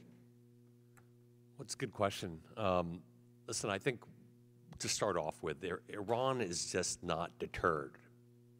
Right? Uh, they are uh, doing all their activities. There's very little uh, pushback um, from us right? Uh, Israel is uh, very active in pushing back, but we are not. I think they see a, a, a freer hand uh, because, after all, if you sign an agreement um, with Iran, um, the next day we are not going to go out there and start whacking um, Iranian fast boats that are harassing U.S. vessels in the Straits of Hormuz. Right? We're not going to attack Iran the day after we sign uh, an agreement. And yet, there is no way to deter Iran other than perhaps through periodically defending ourselves or being proactive in defending ourselves and working with our partners to defend them. It's all tools of national power, but all tools do not just include the Department of Treasury. It periodically includes DOD. Um, and so I, I, think that they, uh, and I, uh, sadly, if you want to look back, I think there wasn't the deterrence aspect. The JCPOA may have worked, um, but um, Iran was in another way uh, emboldened because they weren't going to be held to account for their other behavior. And I think it makes it harder in many ways um, to do that. And I think every administration would say they can walk and chew gum, but it's, it's difficult. Right. So, so the, um, there, are, there are those who argue that um, if we look at Iran's behavior under the JCPOA, where they where they effectively complied with the terms of the JCPOA, that they're likely to do the same here. You hear that argument both from supporters of the JCPOA, and critics who would suggest that there's every reason to comply in the near term because uh, in a few years the restrictions all fall by the wayside. Either way, what is it uh, what can, again, just be a little more specific, what can Iran, what is it likely Iran would do with the dramatically increased resources available to them um, once the assets are unfrozen and, and they re-engage in the, the uh, oil market? I believe the first things that you're going to see are um, Iraq um, further uh, digging in with uh, its, its own sort of relatively new Hashid militias um, strengthening these organizations, uh, grabbing more of the state um, in Iraq. Um, but then whether we see, uh, as I said before, um, the uh, precision-guided munitions upgrading um, Hezbollah, better paying their new recruits who are underpaid for their work in Syria, et cetera. Um, you'll, ha you'll have organizations that have improved morale, which until now, the past couple of years, have been very tough with the maximum pressure campaign. Um, I appreciate that. Uh, Ambassador Shapiro, uh, you also talked about deterrence so they don't weaponize. Um, what, and again, I ask this as a start, what, what, what does that look like? There's going to have to be a plan to deal with the potential uh, weaponized or nuclear weaponized Iran, whether we start today, given the 60% enriched uranium, or, or whether we look ahead to the end of a JCPOA when the restrictions under the JCPOA no longer apply. What does that deterrence look like? That's a very difficult uh, question, uh, and I certainly don't feel like You're I a have. very a- smart witness. Yeah, I don't feel like I have a, a perfect answer to it. It's among the reasons uh, the administration, uh, looking at the difficult options, the bad options, frankly, uh, before it keeps coming back to trying not to declare these talks dead, keeps coming coming back to uh, trying to keep alive, buying a bit more time uh, as restoring the deal, because the answer is so poor. Uh, Now, uh, obviously, some degree of U.S. presence in the region, some degree of U.S. kinetic activity, including against non-nuclear threats. I agree with David Schenker uh, that there are moments when it is appropriate and necessary for the Iranians to feel the sting of an American reaction, not just Israeli strikes uh, in various forums, uh, uh, when they violate certain norms, even in the non-nuclear space. That may be an element of deterrence even on the, on the nuclear side.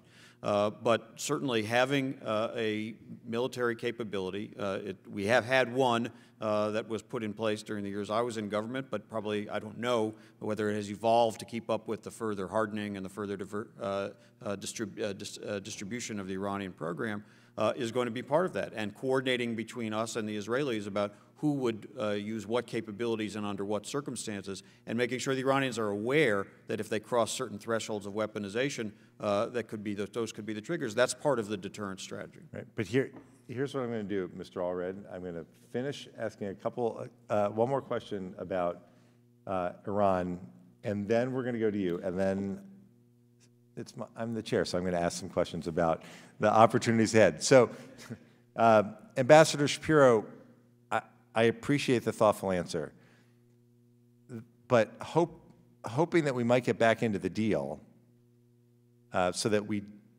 don't, it puts off the time when we have to determine what the right answer is here, uh, ignores, it seems to me, ignores the fact that Iran has, has moved ahead to this point where they're enriching to 60%, which the IAEA made clear only when the Director General was here, that only countries who want nuclear weapons pursue, uh, enrich to 60%. And there, it's not clear what the result, result will be. If, if there were no discussions, and I, I've just been asking this question for, um, for some time now, so I'm going to ask you. If there, if the, there were no such thing as a JCPOA, and Iran enriched, started enriching, and then enriched beyond three and a half and beyond 10, beyond, and now they're at 60%, and they got this close to having weapons grade enrichment.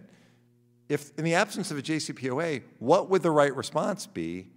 And right now, there is no JCPOA, so why aren't we talking about that response? Uh, Indeed, I think at the time Iran began enriching to 60%, uh, there may have been a missed opportunity uh, to uh, provide a, a, a response, whether it would be a toughening of certain sanctions, whether it would be a condemnation uh, in uh, various international forums like the IEA uh, Board of Governors. Uh, and uh, Iran may have felt at that time that they got away with it. And it may have been that the Biden administration was trying to keep the atmosphere of the talks at that time uh, positive enough that they would be able to uh, advance the deal. I do think that may have been a missed opportunity. Um, uh, look, it, it, it should be clear uh, to Iran, and it should be a consensus position of the international community uh, that these steps uh, are unacceptable. Uh, there should be clear that they will continue to pay a higher price uh, economically, uh, and it, it would be perfectly reasonable to toughen sanctions while uh, negotiating uh, for them having crossed those lines. Uh, and it is perfectly reasonable uh, to ensure that uh, Iran understands and others in the international community understands that, uh, that U.S. military options are available and on the table, and to signal that uh, by their use in other appropriate circumstances. Uh, those are all steps that I think could be uh, part of trying to help uh, uh, Iran and others understand uh, that they're already into this unacceptable danger zone.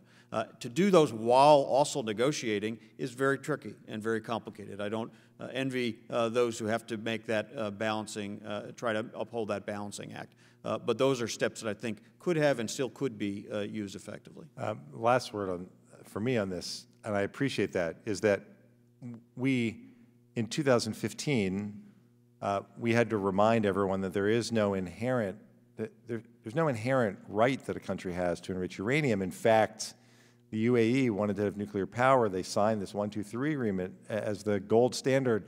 No enrichment in their country. They, were, they could have their, and, and that went by the wayside. And then we just, it, it became almost accepted that, well, Iran has the right to enrich uranium. They don't.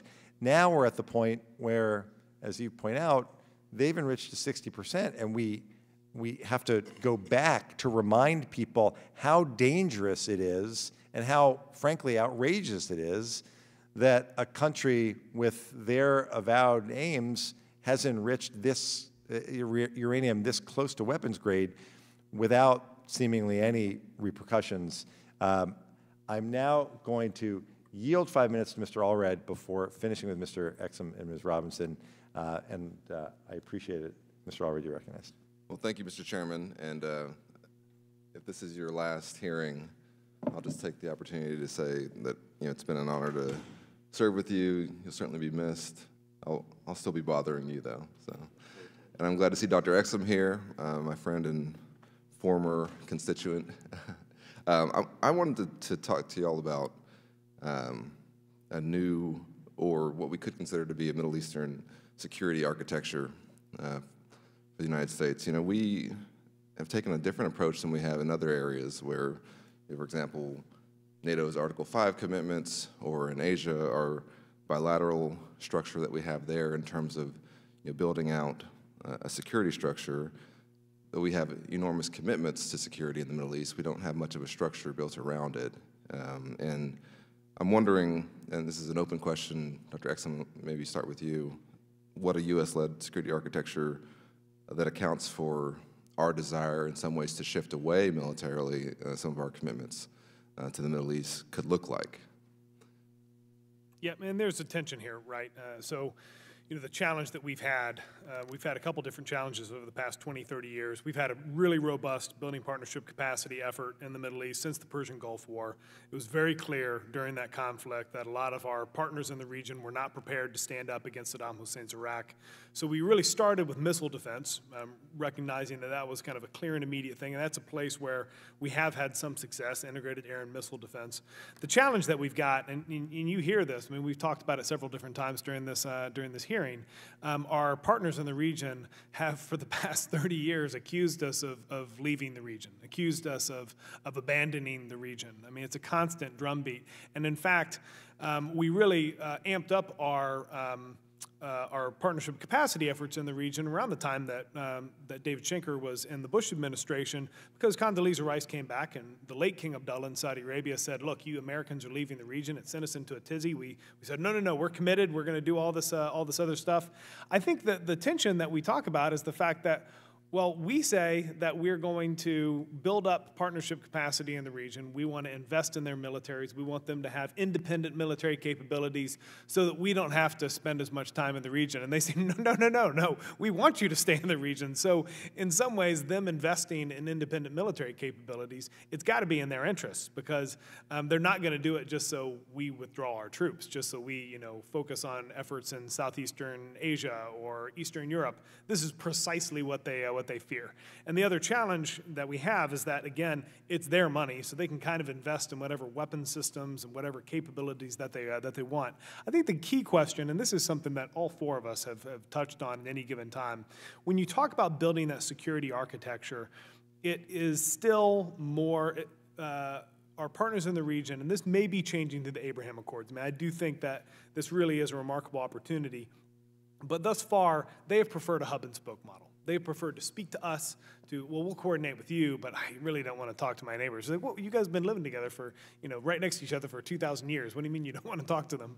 Um, but it really is the United States has been the preferred partner. And we've got to get to some sort of um, uh, alternate arrangement where individual states are speaking to one another, their militaries are working with one another.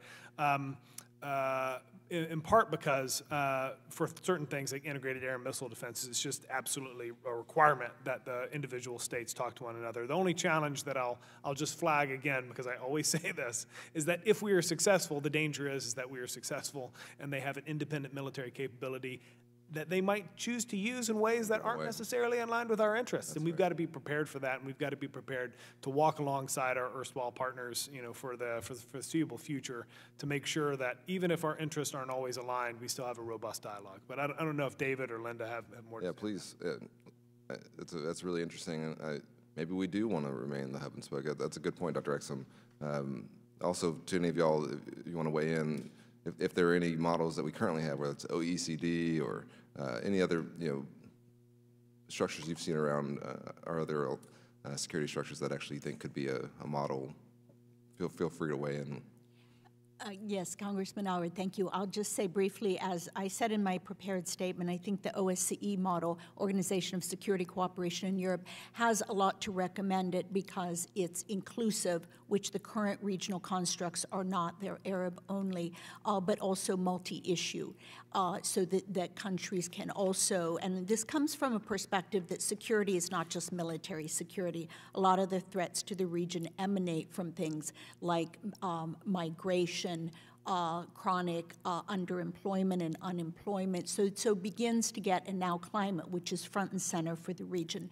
Uh, and, and it provides a forum for the uh, parties to begin to collaborate and cooperate uh, across the range. I think that NATO, a NATO-like organization, is a bridge too far, and I would, would say against the um, that may, may change if we get to a polynuclear Middle East. I mean, this is the specter here. I think where we're heading with no Iran deal is we could enter into a different era uh, in the future. But right now, I think that a NATO uh, organization is frankly unlikely. But I think the merits of cooperating among themselves to build a defensive shield uh, is would answer the immediate pressing threat that they all rank uh, very high on their list, which is the drone and missile uh, threat. Thank you. Yeah, thank you.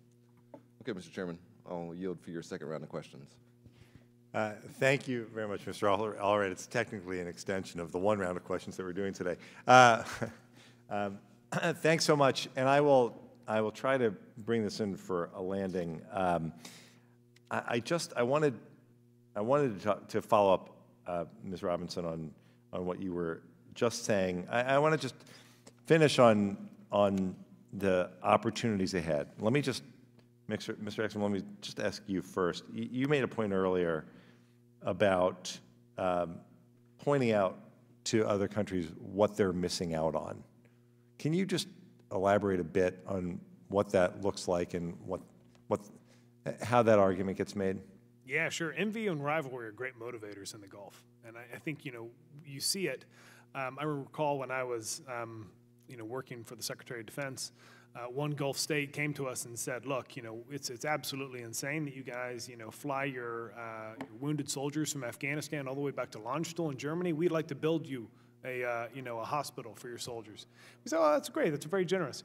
Two weeks later, we visited another country in the same region, they said, you know, look, it's just, uh, it's, it's crazy that you fly your troops back to Landstuhl uh, from, uh, from Afghanistan. We'd like to build you a hospital.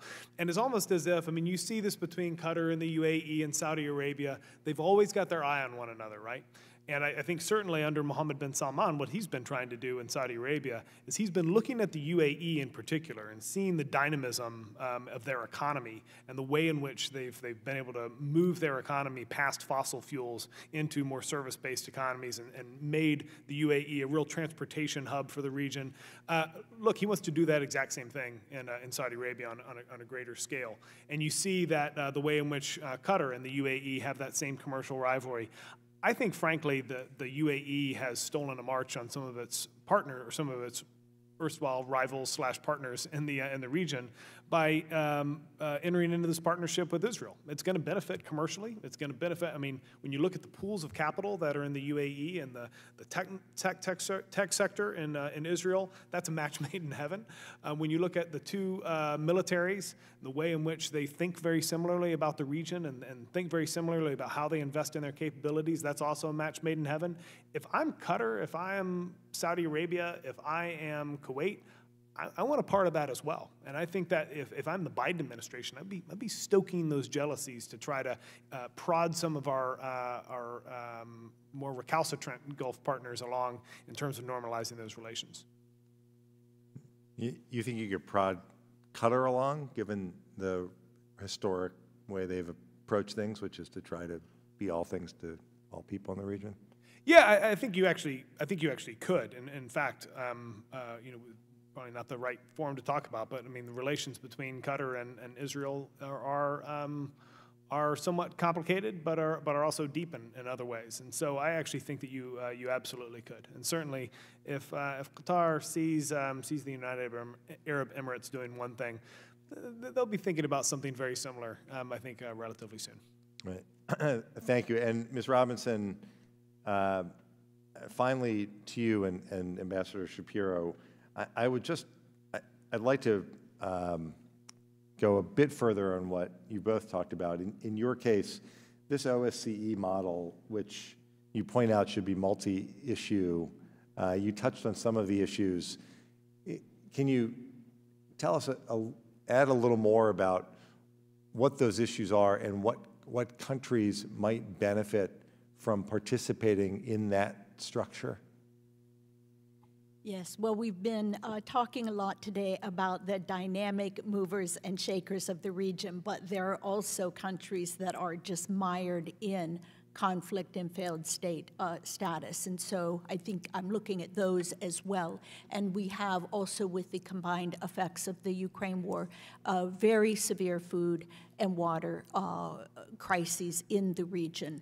And I think that there is a need for a forum that will begin to help them address ways uh, to address those.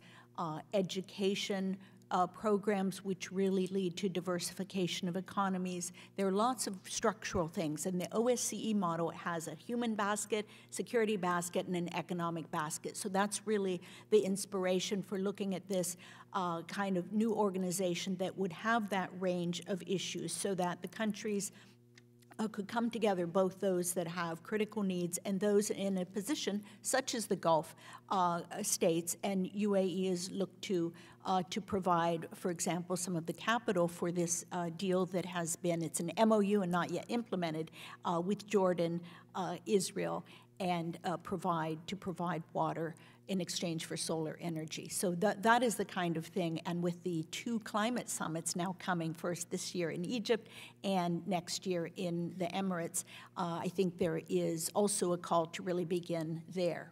And if I could just add a brief note, the normalization issue I think is so important to talk about the people-to-people change. I've focused a lot in our work, looked at the economic modeling, uh, but I think that's really where you begin to see the change in the region at that people-to-people -people level. And I think there are a lot of cultural and education exchanges going on. Haifa University has one, others are, are growing. And I think that's really the game changer at a fundamental level.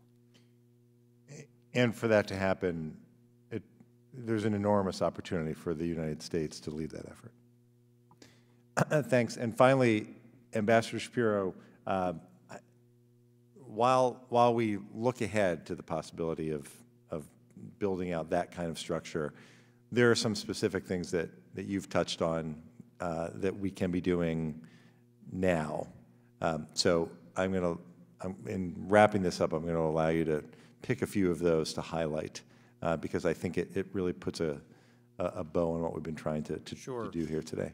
Thank you, Mr. Chairman. Uh, there are various steps the United States could encourage and even take itself now uh, that help build the uh, habits and the uh, and the structures and uh, the exchanges uh, that would reinforce whether it's an OSCE style. I'm more I've been focused on an ASEAN style regional organization that layers in defense, and non-defense and economic and people-to-people and cultural and educational exchanges, all in ways that all reinforce each other.